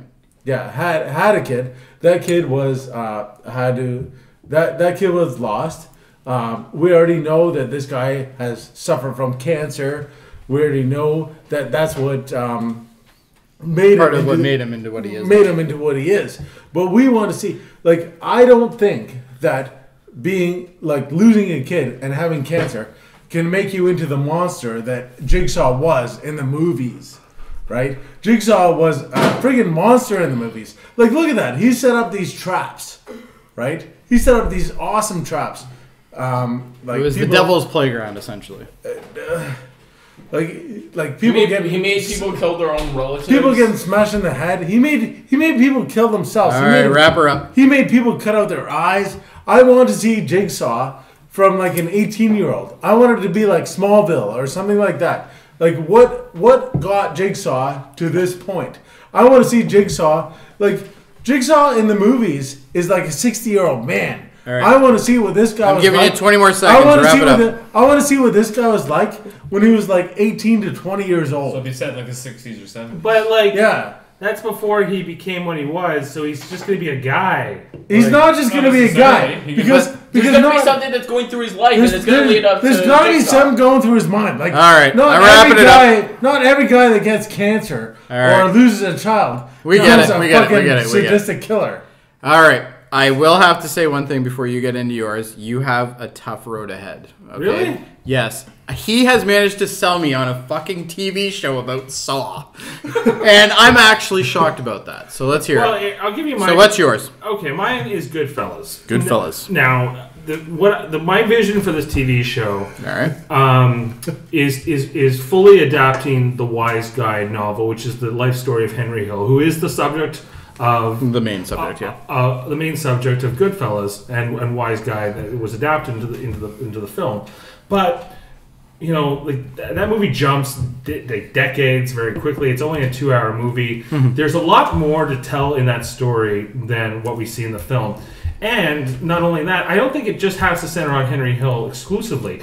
I think it could be a, a, a- a modern or just a, a retelling of the five families of New York City who are still active today, the five mob families in the commission, um, through the 60s or even 50s, 50s, 60s, 70s, and into the 80s, and and and showing what that what was all going So on. So kind of like uh, back in the day, kind of like how we've made several times before. It's like Well, to me, it kind of be like a modern Boardwalk Empire. It'd be a modern Boardwalk Empire. It would all be based on true stuff mostly. Like there would have to be some fictionalization in there, but you can still have the, the Henry Hill character. You can have like the Tommy character that that uh, um, um, who I thinking? Joe Pesci played.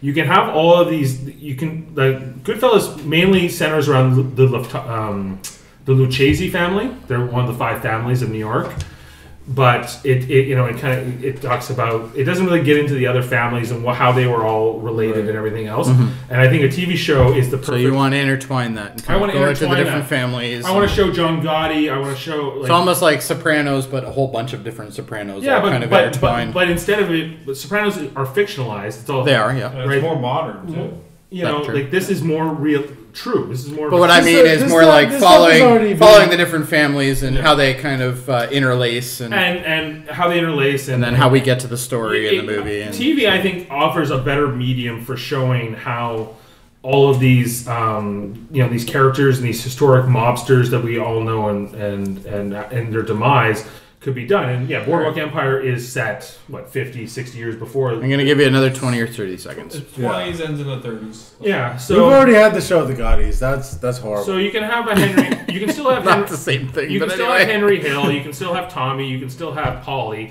Yeah. Being sort of how we're introduced to this world, but it can be showing more to that. All right. You know uh, and i think that there's a ton of source material that they can take they can also fictionalize it just like boardwalk did and kind of embellish it and bring even more to richness to the to the mythos of of new york city gangsters So wait, you're saying Okay. it's just the New York City gangster version of Boardwalk Empire? well That's what Boardwalk Empire is about, though. That- New Jersey. It is about Jersey, yeah. Um, all right. Well, that's very good as well. Um, I think it's down actually funny enough to the two of you. Uh, Jeff, as much as. What? I he, somebody burned you, and that took a point away. And I think it was actually Chris that burned you, and that just put you slightly Because under of the the other third two. movie that sucked. yeah. I think that was it. Yeah. yeah. Uh, Um, all right. So, what I want to means hear I from won't get to do a tiebreaker. no, Uh, no we're not well, done we're gonna see, neither we're gonna of us see. have won the round yet We're gonna see. All right. Um, You can't there's decide. probably not a tiebreaker though, but I might issue you a, a challenge for one of these questions. Um, all right. So what I want to hear from you guys is because both of you are pretty close, and I'm fucking shocked that he could even sell me on that. Quite honestly, and actually, it even sounds like something I'd watch. Like it, it wasn't. I want. I would watch it just out of curiosity. As for yours, I would too. I think that would be, and you kind of hit the same point that kind of he did. Let's hear about the backstory that got them where they were, right? Like, so it's the same idea. So you guys kind of almost have the same principle, which kind of makes it harder for me. So what I would like from you guys is you you mentioned both of your stories kind of intertwined to one main character, and then you have kind of offsets. You know, yours is a little bit more out there. Yours is obviously focusing on one character. Who's gonna play that character? Tobin Bell. he's gonna play the young version of himself No, no, no, no. Oh, okay. The young. So in your in your fantasy TV show that you've you've created in your head now, uh, who's gonna play that young version of Jigsaw?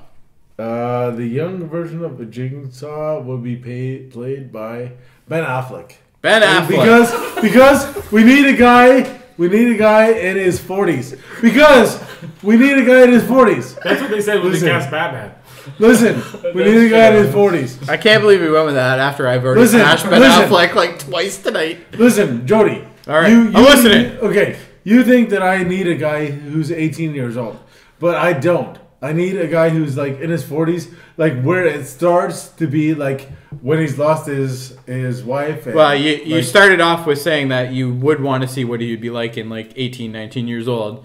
And then you said it would be nice to see him jump ahead as well.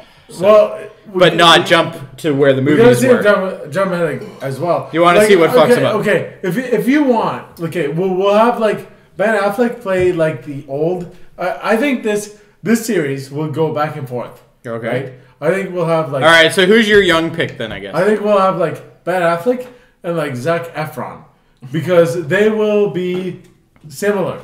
Okay. Zac Efron. This I was waiting for him to just. Strangest show. Yeah, for Because you know what, you know, Jody, like think about this.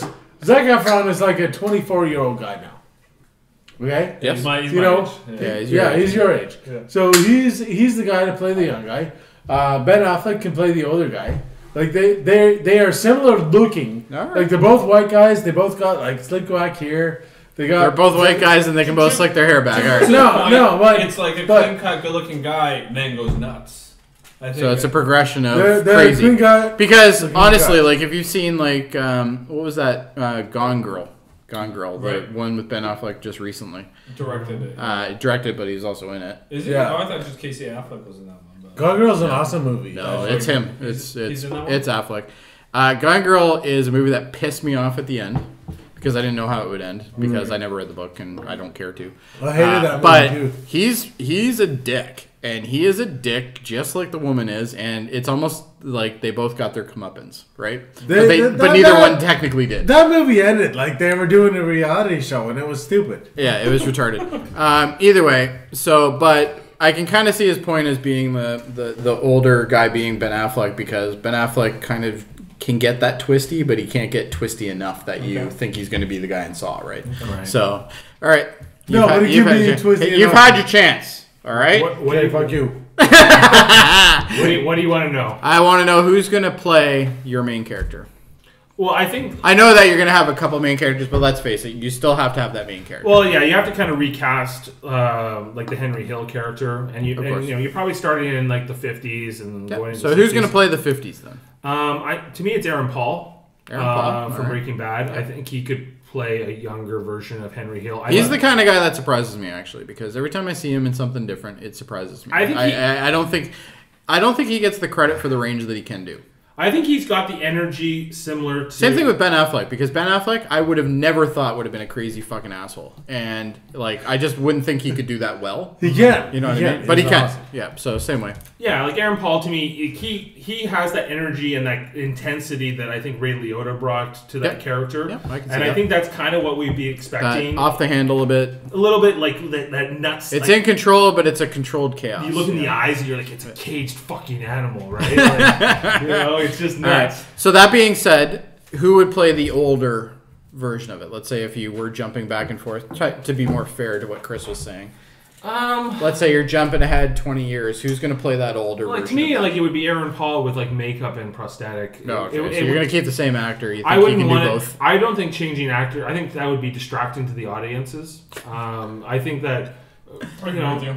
See, I don't think so because I think a 20 year difference, you can look totally But different. But they did that in Goodfellas. Jody, did you look the same when you were 20 years younger? They did that in Back. No, to, I looked better. They did that Yeah. in Back to the Future, and that was 30 years ago. Like, Yeah. you know, like they, So- they, they. Yeah, but they also didn't have the same actors for Back to the Future 2. There was well, a- the mother they did. They had They still. Lea Thompson. yeah, that was still They Lea didn't really need the father. Uh, the- Crispin well, Glover. you know, Crispin Glover wasn't in the but second one, yeah. Regardless, like I think, especially with today's like Yeah, he effects, sucks. You can do a lot He with sucks. practical. You- can I? Can I? Can I finish? All right. Can I finish? Can I finish? Okay. We can't have one of these without somebody saying that. Yeah, um, I think you can do a lot with practical, and I think it would take the audience away from it if you recast it or say, "Oh, now it's the '70s, so now I brought in this new actor." All right. Uh, and just on a note, like his show is ridiculous. Like, what's gonna happen? Like, he's not even Jigsaw yet. He's not gonna be putting people into traps. He's just gonna be getting depressed and getting the shit kicked out of him for life. is that the show? like, I don't understand. It's not that, Dave. It's, kind of what Breaking Bad it's, is. it's like, that is what Breaking Bad is, though. yeah. okay, you know what? Do you think that one day, all of a sudden, you decide to put, to like, chain some guys to a toilet? Do you think that it's like, one day I'm like, okay, I'm a normal guy. But you okay, next day, I'll chain some guy to a toilet But Chris, and make him saw his leg off. Chris, it's not going to be relatable to the original source material, which is Saw. There's seven Saw movies. There's They seven have, Saw They movies. have an established gimmick, right, in this franchise where they. Well, the, no, the gimmick in this, the gimmick in the Saw franchise is that they're gore movies. they're right? gore They're- movies they're like- where he, he like takes bad people and he puts them into situations where they have to like either mutilate themselves or do something Yes, insane. I agree. And none of that's going to be in your show. Right. None of that will be in the show So- because it's just like Bates Motel. Like do, Bates Motel is a very successful show, and hmm? you know what? Bates you ready to Motel is like I will be in a minute. it, Go on, go on. I want to hear Ba- this. Bates Motel is coming from like the friggin' famous scene where they stabbed a girl in the shower, yeah, right? in Psycho, yeah. In Psycho, right? That's where Bates Motel came the, from. but okay, but So don't you think that Saw, like if they could like develop his character because the only the only reference in Saw is that Jigsaw got his wife pregnant. Her name was Jill. Her name was Jill, by the way. They had they. You- you mentioned this, yeah. Yes, the baby uh, got aborted, and then he got cancer. That's That's a terrible that's- TV show. Okay, that's no, no, it's not a terrible TV show. I'm guessing That's- it's not just gonna be that. that's all they said about his past life in the movies. That's But there all he said. that- All right. But I think it could All be more right, of a I'm movie. calling it. I'm done. I think it could be more, Alright. more of a TV show in the past. Okay, I'm surprised you haven't asked me which Maybe, one I would rather watch. maybe like I'm a getting gra- there. maybe a graphic novel. All it right. wouldn't even be graphic. It would be just like All right, Eamon. Out of those two, which one would you watch? Uh, those two? Uh, I think I'd watch Saw. All right.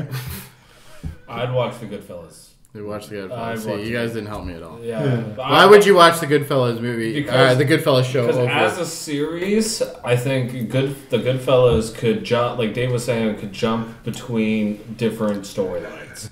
Whereas I think with the song, this would be more eccentric. it, one very storyline. centric, and I think it wouldn't last long. I think it'd be an okay show for a season, and then it would kind Alright. of go like, "What the hell's going on here?" Why would you pick Saw? Because it feels more connected. It feels like it could happen because you want to know why is he doing these things? Why is he making Agree people with him. humiliate himself? You- Agree with yeah, him. but yeah, Why is he well, making people Dave, play Dave, these so-called games? Dave has a history of of of this chat because this is a real story. Like the the Goodfellas was based on a real I can story. go off based based on off memoirs. the Henry Hill story, but way beyond that. There's You can so go. much You can span it. All right, I'm done. I'm gonna give it to Dave. oh man, Which kind of sucks because honestly, I had no fucking idea how he was going to do that, and he still did it. I was, I'm shocked. All right, but He pitched a very bad Content-wise, TV show. Yeah. number one, Dave, Dave brought up the idea of the fact that there would be a lot of content. He could always expand. He could always move around. You can't. You have to stay to a set storyline. And to Dave's point, or to Jeff's point, Jeff said clearly. This is a centric storyline. it's gonna get boring. It's gonna end up dying. us, man. Sorry, but that's just how it goes. All right. That being said, our final tally is Jeff with three, Chris with one, and Dave with two. So Jeff and I, Dave are going glad to. you got one. Oh, Hey, yeah, I'll go back man. for you. I always only get I don't one. Not only that, but he got beach volleyball, which was impressive as hell. I don't know how he didn't win music. That Canadian rapper, he was one of the best. That you're back, though. All right, Shock. Jeez. all right, Jeff and Dave. mine. Playing I have Bass. absolutely no questions for the speed round already prepped, so I'm doing it all off the top of my head. Oh, wow. All right. Can I come up with the movie one? Because I actually have a really good movie. Uh, you know what? I'm gonna give you the movie one. Let's hear it. Can what I is read the the best name? movie that is so bad that is good? What is like Oh. All right, it's actually, so bad I, I you like that actually one. Like it because All right, so let's give you guys a second for this. Like, so basically, Ops is bad. let here let me kind of reiterate it a little bit better. Um, a guilty pleasure of a movie, a movie that you know people are gonna make fun of you for listening, watching it, but you know it's just so fucking What- fun to watch. What's the best guilty pleasure? What's the best guilty pleasure movie? I'll. Yeah. Four. Time Cop. All right, yours. Lethal Weapon 4. Lethal Weapon 4 wow. All right, let's hear it. Time cop. Time Cop. You got a minute. It has everything it should to be a good movie, but it doesn't because Jean Claude Van Damme is ridiculous in it. Okay. Uh, you know, just the scene where he's like, "Look at what you see on the boot. It says Kodiak." He's like, "Yes, I'm a bear." Right? That's true. That was line. right? Uh, just like everything about like that movie is fun but ridiculous. It's terrible. Yeah. Just like when when he's like, you can't occupy the same space, right? And they get thrown into each other like, Yeah, oh, it's terrible. It's terrible. Yeah. But it's funny as hell. I have a screener copy of that movie. yeah, like I have a screener copy that I got from Jumbo Video, and when I said, "Oh, I'll bring it back," they're like, "No, don't worry about it. We're not gonna watch it." I, I love how every like all the criminals who come back from the future, which I believe is like set around this time. yep, yeah, it's around Right, this time. and yeah. they all got these weird emo haircuts, and they all like to wear suits. Yeah, with, yeah, with yeah. no ties. Yeah. or All whatever. Uh, like it's just it's just Ten seconds. so silly. It's it's fun but ridiculous, All right. and, and in no way should it be respected. I agree. All right, Lethal Weapon four. Let's hear Lethal it. Weapon 4 is a terrible movie, but it's fun and it's funny. it's one of those movies you watch, you're like, this is terrible, this is dog shit, but you're watching it and No, you go, you're sorry. Just just reiterate which one four was about. Going, Four's the one where Chris it's Rock. A- Asian, yeah, Chris Rock's in it, but Chris it's, the, Rock. it's the Asian Oh, one. It's the one okay. with uh, Benny and they're in the dentist fucking office Ah, and they're making okay, a yeah, and then Jet Li, they fight Jet Li at the end. It's Yeah. a terrible fight scene. And Yeah. He he takes, goes, the, he takes the gun apart. Yeah. uh, yeah, he takes the gun apart and they kill Jet Li, but like the whole movie is just like. So what's fun about it then? Because obviously we know Oh, it's terrible. Okay, first of all, Joe Pesci's in it, and he's hilarious. And we have we have uh, Chris Rock. We, there's comedic uh, moments in the movie where you're like, that's funny, but this movie's dog shit because the plot is so terrible. you're like, oh, we got this money. Oh, they're printing money. We have to go find the warehouse, and then go to the warehouse, and then the, And how do they know they're even printing in a warehouse? They could just be printing in some dude's garage. That's the whole thing is there's no Yeah, explanations on these things, but Yeah. it, really doesn't matter because the movie's really just about Mel Gibson chasing Jet Li across like building tops, and you're just right, like, giving you about another ten seconds. I'm just telling Unless you don't need it. I don't really need it, but I will say that Lethal Weapon 4 is better than Lethal Weapon 3, but most people say it's one. Between the two of you, I'm going to give that one to Dave. Alright. You know what? I, I probably would have. He had a passion for that movie. I can see it in his eye. He's like, it's If I- fucking if- terrible, but I love it. All right, television gentlemen. Mm-hmm. If you could only live with one series on DVD that you had to watch over and over and over again, Wait, could you stop watching and do other things, or did you always have to be watching it? it's not a punishment. This I is just think hell. This is the only. This is the only video you're gonna get to watch for the rest of your life. It could be any series, mm-hmm.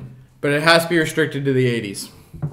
So an 80s series, a series that started in the 80s. It could have went longer, but it had to oh. start in the 80s. Sure. Seinfeld. Seinfeld. All right, and you?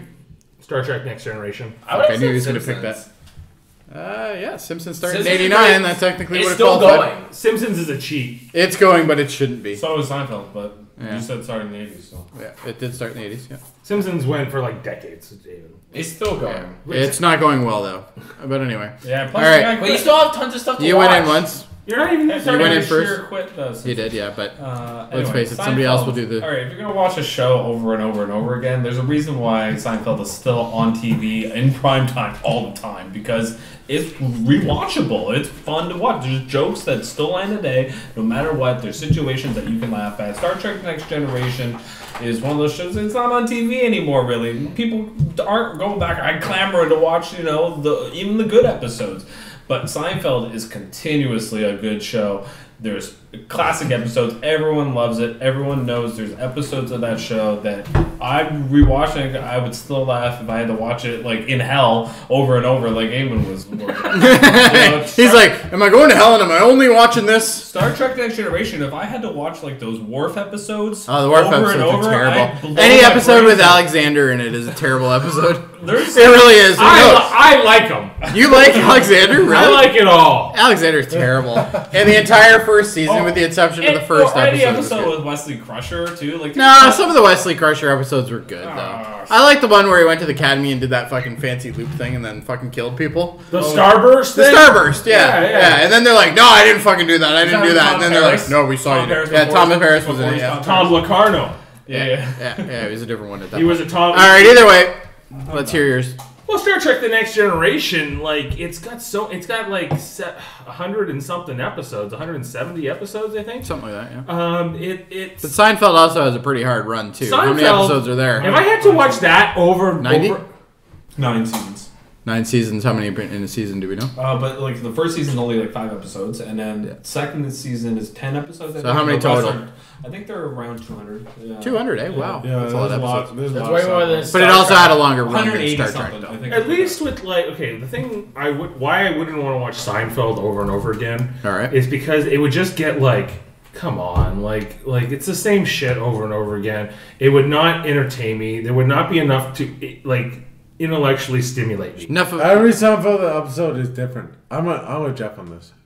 no next All right, generation either way, you get your next point. generation you have so many different types of science fiction out there concepts character development you're seeing the federation you're seeing like just like the there's the all this uh, uh, with Gowron like whoa Like, come on, I would fucking watch those. Like, Yeah, but So basically, what you're saying is it's more of a it's the the story is going to be more compelling over the long haul. yeah. With the thing with next year Because the whole point, the whole the whole click with Seinfeld though is the fact that there's no story. It's it's just it's random shit that happens, right? Yeah, So every it's time for he, every has episode. got he's got 200 episodes, but they're like 22 minutes. Mine are 40 something minutes, and I got 173. I, I have yeah. more content.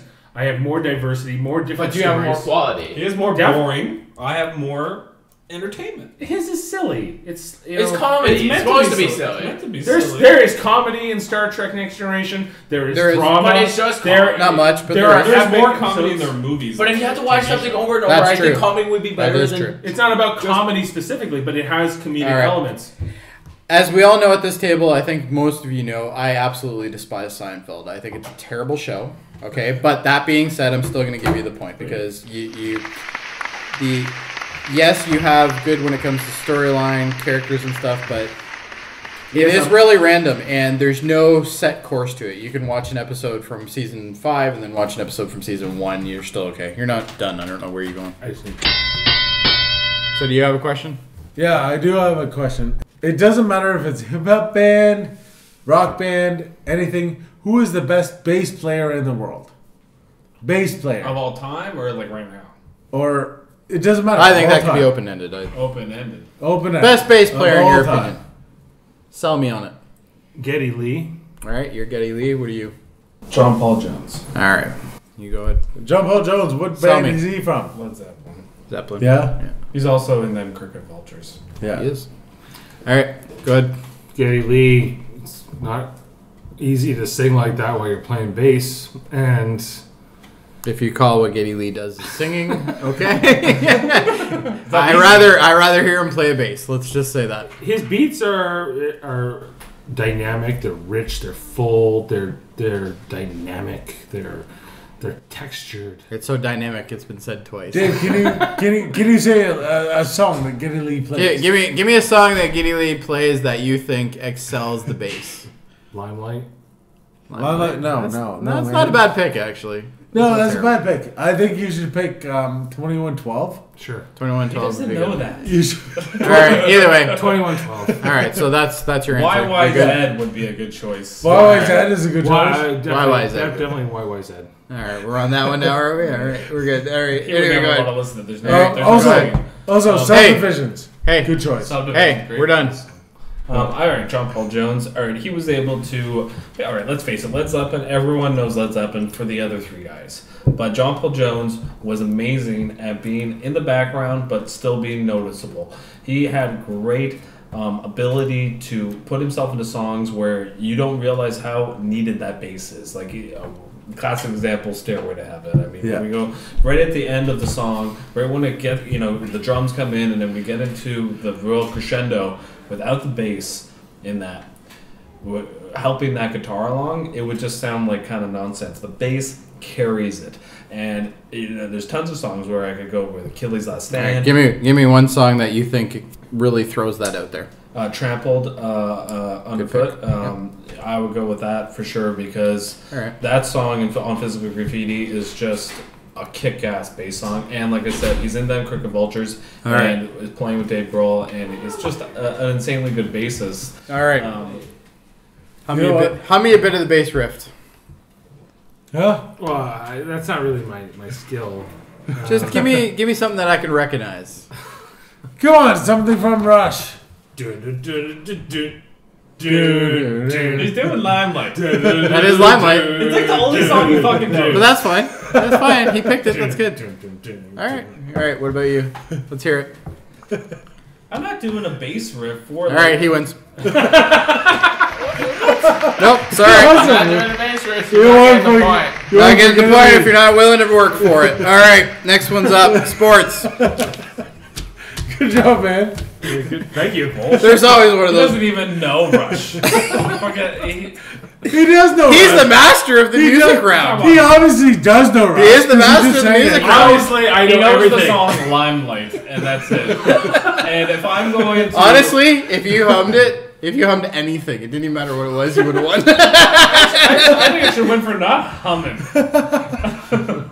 Oh boy. well, Well, you didn't. My table, that. my rules. All right.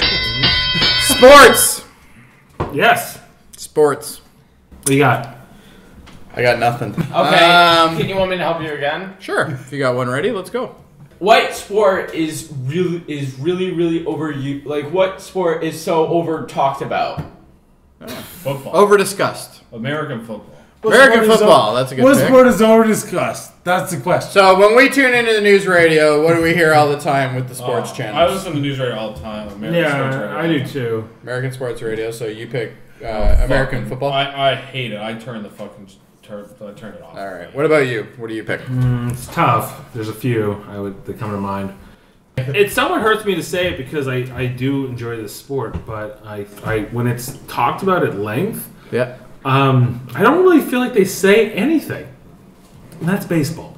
Okay. Um, Jeff's first though. Okay, American football. Okay, there's like like 60 guys on the team, and they're talking about all these. There's like 32 teams in the NFL. Yep. And It's a lot of players. they're talking about all these fucking guys that are basically criminals, and you know, let's face it, they are. like, like half the half the league is criminals. Uh, they certainly have a bad rap, don't they? Yeah. For sure. Yeah. Anyway, it's a well earned right. Anyway, th th and they discuss, they, they talk about these guys like it like it matters. Like like like like I understand in like a hockey or basketball the limited amount of. And to be players- clear, we don't condone beating wives no, no in no, no. elevators No, or I'm without just- elevators. That's just one. That's just one of the I'm just strictly. I mean, and that comes up a lot in sports news radio. and this fucking sports news. what is it, Deflate Gate or whatever? Deflate I fucking heard all about Who that. I don't care. Yeah, Who I don't care- care. Who cares how long Tom Brady got suspended? People are talking about this like it matters. Yeah, does not you got what four games or something like that, and it's I like, why do we understand, care? Like, like, I don't have a team to cheer for in the NFL, nor will I ever. The NFL is one of those things. I'll watch the Super Bowl and I could care less afterward. Yet it's talked about incessantly, mainly because of fantasy sports, and I cannot. Actually, that's a good point. and I cannot. Um, I cannot bear to listen. I to think it. fantasy I don't sports does actually drive that way more than it needs to. Oh, Yeah. it, it absolutely drives the NFL because That's a very good point, People actually. I like have that point. people have these you know players in their pools, and, and I've never heard of them. Like our bro- other brother Rich, he plays the he knows every player, and I just go like, who the fuck cares, Rich? Like, Fair enough. like who cares? Who, All right, let's hear who yours. the wide receiver is on the Minnesota Vikings or the third? I couldn't name five people. quite I couldn't name it either. Yeah. um, like my he doesn't like football. Now, I, just just a disclaimer here. I hate baseball. I know you hate baseball. I like baseball, but my pro- I, I like to watch a baseball game. I can appreciate a baseball game. All right. Um, but when I listen to them, when I listen to them, fuck. when I listen, Edit. yeah, when I listen to them talk about um, baseball on the on the radio, I'm like, they didn't fucking say anything. Like they said nothing constructive. They said nothing. They like it's it's usually people calling and going. Like in our case, we're in Toronto, so we hear about the Blue Jays, and they say, you know, John Gibbons should be fired because I don't know why we're not winning. And then, and then the radio host is like, what can he do? He can't do anything. He's got his pitchers, he's got his players. What's he supposed to do? And they go, I don't know. There's got to be something. They go, no, there's nothing he can do. All right. I'm gonna give you another ten seconds. Uh, my point, my, my point of the matter is that it's it's kind of like there's it's baseball is so like set by who you have and what the pieces you have, and it, it's almost like I heard somebody refer to managing teams in baseball like playing chess. If you don't have the right pieces in play at the right time, you will never win. You'll never win. just- It's like it's like they're like, well, John Gibbons is all he's got. He's got he's got uh, ten pawns and that's it, and maybe he's got one bishop, Yeah. and the other team's got, got more. All so we're gonna lose more most right. of the time. So between those two guys, who do you think you feel you've heard too much about? If you had to pick one. Mm, I've got to say, baseball. Think baseball, but do you think that's because of what you listen to, or do you think that's because that's just you hear more of that? Like when you tune into like TSN or whatever, what do you normally see most of? Do you see mostly baseball, or do you see mostly? I actually see mostly hockey. Well, well, obviously, yeah, but Um, I think I see more baseball than I do football. all right.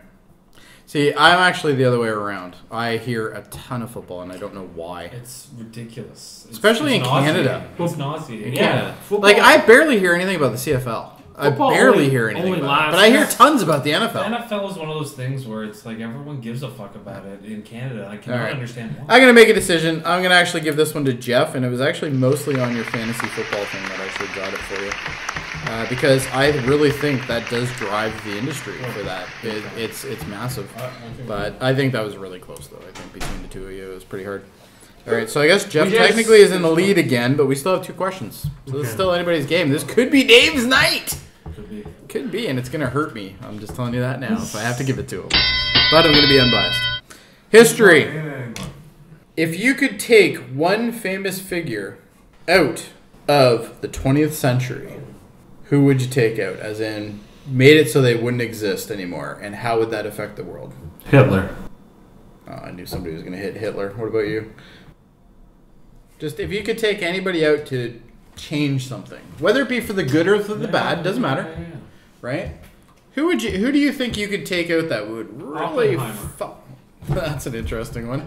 All right, let's hear yours, Hitler.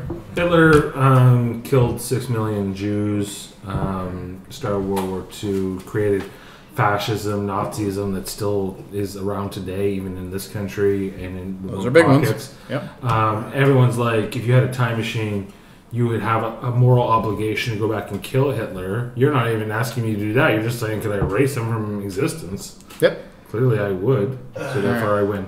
Go. By the way, um, guys, if I was answering this question, You would I would, hiccup I it. would have won. What would you think? Jesus. Jesus. Jesus for the 20, he wouldn't exist. He wouldn't place. be existent in No, the 20th listen. century. If Jesus did not exist anymore, 20th think about- century. Think about how the world would have changed. Well, I guess technically he could erase all existence of it in the 20th century. So up until the 19th century, people would believe in it. Jesus that, is and then he still just around. wipes it. That is a good point. Jesus Jesus, is Jesus still would be a good answer. Jesus I is still around nowadays. Stop, All right, stop either way. talking. You're All drunk. right. you get cut out by the 12 year old. All right, anyway. All right, let's hear yours. All right, Oppenheimer. Now, just just to be clear, Who the hell is Oppenheimer? Oppenheimer created, invented the nuclear weapon. Yep. The nuclear bomb. The hydrogen. he was the guy that started all that. Yep. And when he created it, I think he said something to the effect that I have created the world, the, the worst thing to humanity. Um, it's the most beautiful and the most destructive thing that we've ever created. And even he said he wished he could have uninvented it. So that's why I thought of him. In So you could uninvent him, which would Uninvent essentially him, uninvent and, that. And if and you know, World then War we wouldn't II have Hiroshima. World War II though could have ended completely differently because the nuclear deterrent really. I mean, we would have won the German war, but the, the Japan war The Japan War would have been a harder one. would have been a harder one, and but eventually that would have ended because of Russia. So Yes. I, I think we probably would have. But the thing is, the Cold War would have been totally different. And Oh we- well, there wouldn't be one. there would have been realistically. one, and and I think we would have had a lot of um, continued strife after. But do you think if somebody else would have picked up on that and just did it anyway? That's not what. And same I- goes for you. Would you- Do you think if Hitler didn't exist, that somebody else would still have taken I think shoes? I think No. But I think a lot of people. Uh, why? Why not? Why couldn't Goebbels, uh, uh, Joseph Goebbels, could like you know he could have been the guy for Hitler instead of Hitler. Or there's plenty of other Nazis. The Nazi No. Party wasn't just because of Hitler. You know, he, he was the fro- forefront of it, but he was like there was plenty of people willing to um, follow him, but also believed in what he he, he thought. But he was the Um, one who thought it up in the first place. same thing with Oppenheimer. Plenty of people worked on the Manhattan Project with Oppenheimer. Absolutely. But Oppenheimer had the idea, and he put into practice Einstein's um, equations, Yep. and he really. But somebody out- else could have did that too from that. group. Absolutely, but it might have happened at a later time, and I think also Who could have affected things drastically by doing that? affected Yeah. things drastically. I don't think we would have a nuclear bomb dropped on Hiroshima. I don't think we necessarily would have had uh, a Cold War in the same way because Russia was panicked after the United States invented nuclear technology to catch up, and by the 50s they did so. Some other nuclear physicist would have thought that up eventually. Well, somebody else could have run the Nazi I'm party. just saying at the, at the No, I don't think so. You don't think so? Okay, No. tell me why. I just think they they talk about how Hitler was a charismatic leader. I don't really get it, but the Germans thought so. and that they were. Yeah, but he was a very well uh, orator. That's He what they was an say. Incredible orator. I've seen his speeches. I'm like, "Nang, nang, nang, but you like, also don't speak German. I don't speak German, and thank And Christ if you translate that. some Can, of his can I, stuff, can I go back to a previous debate? He thinks Obama is the best orator of all Oh, time. in English, I'm just saying, Hitler, like Kevin's answer that night, way better orator than Obama. Like, he had people hypnotized. I'm against Hitler. Okay, I'm anti-Hitler. I'm saying he never should have existed, and if he had if he had been wiped out, like how many how many films are and, and storylines are based around this premise? Like Valkyrie was all about knocking out Hitler. It wasn't all about knocking out everybody else. well, that's true. There's an awful lot of movies about that. necessarily one of the end of the war. Down That's what Wow, I that like the punchline of every time thing ever. It's like, go back and kill Hitler. Go back and kill Hitler. Nobody's ever talking about Oppenheimer because nobody even remembers that. Because they know that somebody else would have invented that technology eventually. All right, I'm gonna give it to Dave just on that alone. I believe in you. Now that also ties it up, which means we have a wild card. It's the 80s.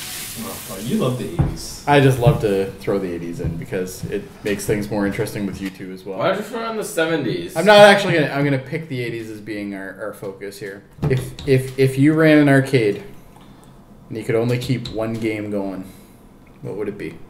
And it could only be a game that was in the '80s. Plenty to choose from. There's billions of games. Can I tell what mine was after? Absolutely. Can I hear yours first, Damon? no, no, you I think that'd be Fine, unfair. but you can't take it. So I'm gonna give you each about 30 seconds. I'd pick um, Donkey Kong. That's what I was gonna pick. pick. Good pick. What I'm about gonna you? kill this one. I'm gonna ask your answer in a minute. Don't worry. Alright. Arcade game? Yes, it Yeah. has to be an arcade game. Arcade. You could keep in mind, the '80s, the '80s Kong. arcade was the the pinnacle of the arcade. Almost every game you can probably think of probably started in the '80s in arcades. No, So- you're wrong, Joe. You know what? A lot of the best games came out in the 90s. No, the best games came out in the '90s, clearly, but if it wasn't for those games previous to it, none of them would happen. I want to be careful with my answer here. I'll tell you right now, as somebody who is a, an absolute database of video game knowledge, Yeah. if you pick something that's not in the '80s, I will let you know. okay. All it's right. not even like I can think of things, but I'm like, All right. that wasn't good.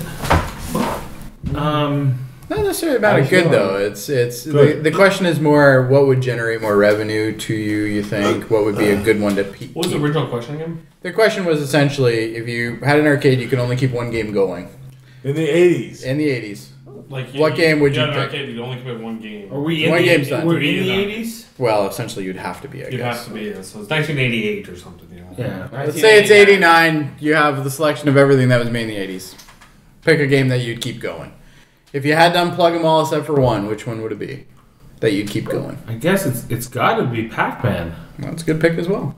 All right. Talk about 70s, but. So let's hear what you would have said. Uh, Pac-Man actually. The, Well, Uh, I think Miss Pac-Man is. No, Pac-Man was 80s. than than, than, than Pac-Man. 82, actually 81, 82. So Pac-Man. what, what's his choice? His choice was Donkey Kong, which was 80, 82. Okay, you know what? It's 1985. That you guys didn't think about Super Mario Brothers. That wasn't an arcade That's game. why I. Yes, actually, it was an arcade That's game. why What? I picked Donkey It was Kong. part of. It was a part of Nintendo 10. Yeah. It's why I picked. And it Donkey was an Kong, arcade though. game. Without Donkey Kong, there would have been no Super Donkey Mario. Kong really Actually, put I them have on the map several. Cho- can I tell my choices first? You can say a couple, yeah. Uh, absolutely. I would have done Mario Brothers or Mike Tyson's Punch Out. Mike Tyson's Punch Out was never available as an arcade game. It wasn't. And also, Mike, Well, then Mario Brothers. Mike Tyson's Punch Out came out Uh, in the early 90s. like original Mario. No, actually not came Super out 80, Mario Brothers. But you're- 88. You're Yeah. thinking of Nintendo, not the arcade. I know, but I, I'm just thinking. Super I, I don't know a lot of arcade. There was. games. He, I don't right, know either this, way. but I, I do know that the original Donkey Kong game was the game that basically spawned the whole Super Mario Brothers. Um, It was actually. He was and right- Donkey Kong. In in, That's what I in said, Donkey Donkey Kong, in Donkey Kong, the character is based on Mario. Um, however, he was not called Mario. He's called Jumpman. Jumpman. Yeah. Uh, however, that is the basis for the Mario Brothers game, which ended up coming out after, which had clearly Mario in it. And in Donkey Kong, basically you play as Jumpman, right? He plays Jumpman, which is really Mario. It's the Right. same guy. It's the same guy, Yeah, and just wasn't called Oh. Mario back then. Mario Jumpman Mario. Actually, he was a carpenter in Donkey Kong. He was a carpenter in Donkey Kong. Absolutely, I'm glad This is you a very got deep that. intellectual Instead of a conversation plumber, right? about He wa- yeah, the he was- origins of a. It was friggin- he, he was ended up being a plumber later on. There's a whole debate about what his last name actually is because technically it's Mario Mario. Can I change my But, answer? but also, technically, he doesn't have one. He technically doesn't. Can Know. I change my answer? I don't care. Anyway, All right, Donkey Kong. Let's hear it. Donkey Kong, like I said, spawned the whole Mario franchise. But the reason why I picked it was if you could only pick one game, that game was.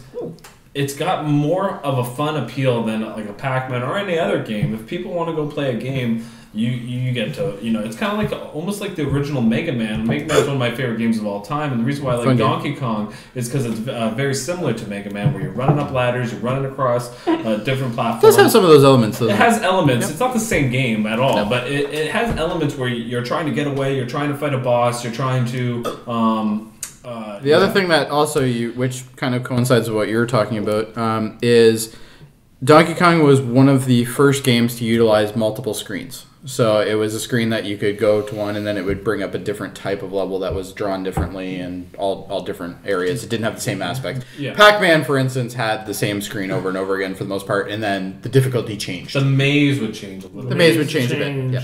yeah. But the premise was still the same. Whereas in Donkey Kong, you would have your, your premise was still the same, but the, the boards were laid out to the point where you'd have to like, you know, walk across certain things to get rid of stuff. Uh, whereas it wasn't just always go up constantly in a zigzag and you're Right. good, right? Like there was different ways to do it eventually. There was ladders and, And Pac-Man, and same idea. gaps that you And Pac-Man also over. had to give Pac-Man a little bit of credit. You also have a legacy there as well because there was various versions of Pac-Man. Pac-Man Junior, uh, Miss Pac-Man as well, which Miss Yeah, right. Pac-Man actually outsold Pac-Man. Yeah, that's what I was going to say. Um, Miss Pac-Man how- had Miss a better Miss. Pac-Man is technically a boot. Is technically a ripoff, though. No, Right. sorry, it was done by the same company. Same. I know, but they didn't get. That's like, Spin-off. that's like saying Mario's a ripoff of Donkey Kong. Jody, No, because they actually had the rights for that. Well, no. It goes into a lot of. All right, either way. I'll explain no, no, later. no. I, right, Chris I- wants to say something quickly. this Pac-Man is the same company as Pac. Man. I want to say something Yeah. quickly, and and this is mostly directed towards Jody. All right. You could you pretty much write my my name down there, even though I'm not in this. So whoever wants to take my answer can They can't now, but anyway. They Can you can't just now. shoot it out so I can get this ended? Jody. Honestly, 80s arcade games. Yars Revenge. Yars Revenge was awesome. Can anyone ever beat that? Yars Nobody Revenge was a great can beat that. It doesn't matter. It doesn't matter what I say about it. Yars Revenge A- was As long as Jody knows this game, Yars you guys are was you guys are dead. However, I still think the two were How bigger are we? How are we though. dead? It's not even the- one of the two. You're, you're, you're not even playing. so- It, it doesn't matter. All right, let's hear your Pac-Man argument. nowhere, Jody All wants- right, Pac-Man argument. Let's hear it. choose choose yours Shut up. Revenge. You can't choose it. He's already done. Anyway. To me, like Pac-Man is a game. It's a classic. It's it's it it never really to me got old. It's still played today. Like I was on Google one day and like they were like, "Hey, you want to turn the streets into Pac-Man?" And That was pretty cool. And I was like, "Hey, this is fun." Like Pac-Man is such a simple game because it's just up, down, left, right. It's you gotta like watch all the different factors going on. There's a lot to um, ad lib and think about. It's it's it's it's it's intellectually stimulating in a weird, simplistic way. Like it's it there's there's a lot of like theory involved. To me, like Donkey Kong never appealed to me. To me, that was always like It's not about what appeals to you, though. I know, but like like come on, like Bing bing bing bing. yeah, like you know, you're like, and then you get the, the big things. Pac-Man was very was very pattern oriented because it was the limit of what the technology was at the Kong was time. fun. Um, you know, for That's instance, true. one one of the ghosts will always turn right if there's an ability to do so. So, you know, there um, same thing with um, the red one will always see you, Yeah, whereas um, I can't remember what the blue one's name is. Iggy? No, but Inky. anyway, It's Inky. Blinky, Pinky, Inky, and Clyde. Clyde. Clyde. Yeah. Um, but the blue one, for instance, would actually be scared of you. So you, if, if it saw you down a hall, it would actually turn. even though he could eat you.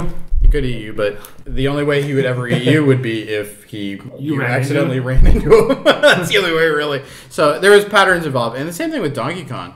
The barrels themselves were actually more random. Um, they were really hard. Um, there was no there. There was a pattern only on the first couple stages, but anyway. Yeah, to me, like Pac-Man is the one that kids show up to play, right? Because it's like it's. Well, I disagree with that one a little bit, but all right. I think that's the one that everyone's like, hey, we got some quarters. To So are you trying to tell me that it's the one that people can pick up and play easier? Yeah, I think it's an entry level game. I think it's like, you know, if you got to keep your arcade going, you got to appeal to the masses, baby. You gotta make it easy. You gotta make it hard. Oh, he threw that in there. You gotta make it easy. You gotta make it hard. Donkey Kong is too It's hard. got all of that. Donkey Kong. eh. If you're in an arcade, you want to play a video game. You don't want to just go, eh, I'm gonna dabble, because you want to play. You're there you want to to play, you're there to play Pac-Man. And if you wanted to argue what you just said, if you're in the arcade business, you want to make quarters. You don't want people playing for a and long that's time. why I want to, I want to get everybody in there. I And want Donkey Kong was actually designed for that. Donkey it was Kong designed to is make sure people for- eat money. It's designed for the, the only the for people, people, who have. who like to play video games and wanted a challenge. That's what arcades are all about. But I, they I, want wanna be- do. I want to be this. I want to be the Pac-Man best at offers this. that I want the guy that has my initials on that screen. Pac-Man offers that too because Pac-Man, like yeah, you play level one, it's pretty easy, but you know you get up to those higher levels, it's really really hard. All right. So we mentioned a little bit about descending uh, from that game. Okay, so now just to kind of give me, a, I think you're kind of on really even, quite honestly. By the way, I should win. I don't Yours care. All right, Yars Revenge is a great You should game, win. but you Guys, also should give it to him. you also He's lost about a half an hour to an hour. No, but I, I, I right. should have won. All right, I shut will up. be them. All right, to care, don't care. All right, if you could pick any game that's associated with the game that you did pick for future use, what game do you think was the best after that? As an arcade game? Any Or game, Any game. as long as it was a video game. Oh. Uh-huh. I'm not talking about breakfast cereal because technically both yours had breakfast cereal. But any game, any game that's associated with that original game, Yeah. after that you could pick. I'd pick the original. And even if even if your character appears in the other game, but it isn't around the game, I'm still okay with Can it. it not be in the game? Uh, as long as it's associated with the history of the game, I'm okay with Yeah, it. no, I'm, I'll pick the original Super Mario Bros. from the All right. original Nintendo. That's a good one. Um, Explain the question. All right. Your character Pac-Man spawned a bunch of games, including Pac-Man games such as Pac-Man World, all those different ones. Oh yeah. Also appeared in games such as um, Super Smash He was in Super Smash Brothers, for instance. So you can pick any games like that that has a legacy of him. Uh, Namco also used them in almost every game they ever made. So Well, let me tell you something about Pac-Man. let me t- let me hear something about Pac-Man. You know they originally going to call him Puck Man. Yep, and that they didn't because they thought the people would just erase that part of the P and make him fuck man. yep, that actually was part of it. That's Yep. pretty funny. I'm It actually was in surprised you even Japan. knew He was Pac-Man in Japan. I didn't even get an answer to your I didn't get an answer either. So I'm Uh, still what, what are waiting we for it. doing? He's a fucking yellow thing that goes around and eats dots. Like he's not like a dynamic character. Like he's I think people would disagree with you on that. he's not like he's he's philosophical or he saved the world. He you know he's it, it's a simple. Look up how many Dave- games Pac-Man's Dave been in. loses. Dave Okay. loses. Should I look up how many games Mario's been in? No, I already know that answer.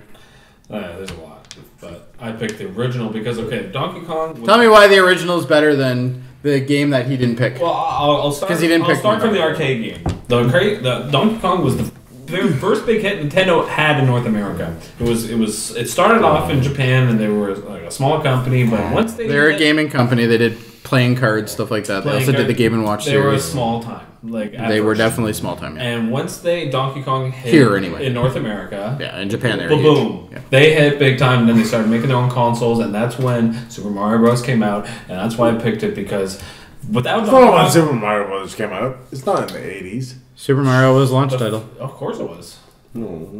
Yeah, Well, Um, stupid and one. it was PlayChoice. It was in the PlayChoice arcade games too. Yeah, yeah. And actually, it was a revised version of the ROM, and it was Without, harder. why I picked the Donkey Kong game is without that arcade game, and if you're going to go into an arcade and there's only one game to play, I want to play a game that was spawned basically the whole generation of video games in general, and also was difficult. All right. and that's why I made my point about Name one good too. game that has Pac-Man in it that isn't the name Pac-Man.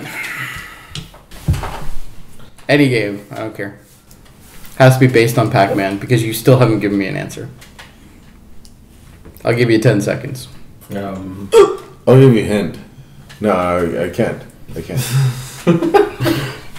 All right, I don't want to. Jeff wins it, So that's the final. and Jeff wins the game, which I think he's now the highest rated. However, Dave is tight. So what, Dave? You lost. And I'm just Yeah. glad I wasn't the guy that had to give Dave the win, so I'm happy. I'm your host Jody Simpson, and I'm gonna say goodnight. And uh, obviously, it was a it was a fun game, and I really enjoyed it. Yeah. Um, and Dave almost squeaked the win this time, but And got caught up on the Pac-Man. Uh, congratulations to everybody who tried, especially you. And Chris got Oh. got one point. That was good. I always you got got one point. You at least got one He's- point. At least you're consistent. He's good for a pointed episode. So. Yeah. At least you got one point. Let's be clear He's though, than getting he zero still has a lot more episodes to go before he has your losing streak. True. This is true. Anyway, thank you very much, Chris Alright. Seymour, as well as of Dave course. Mader. Jeff Mader. Eamon made her as fact checker, but I couldn't find the Pac-Man. All right. Chris Seymour signing out. Chris Seymour signed out about an hour ago. And then he came back and started giving me opinions on shit that had nothing to do with him. But anyway, Opinions. anyway, good night. Goodbye, everybody.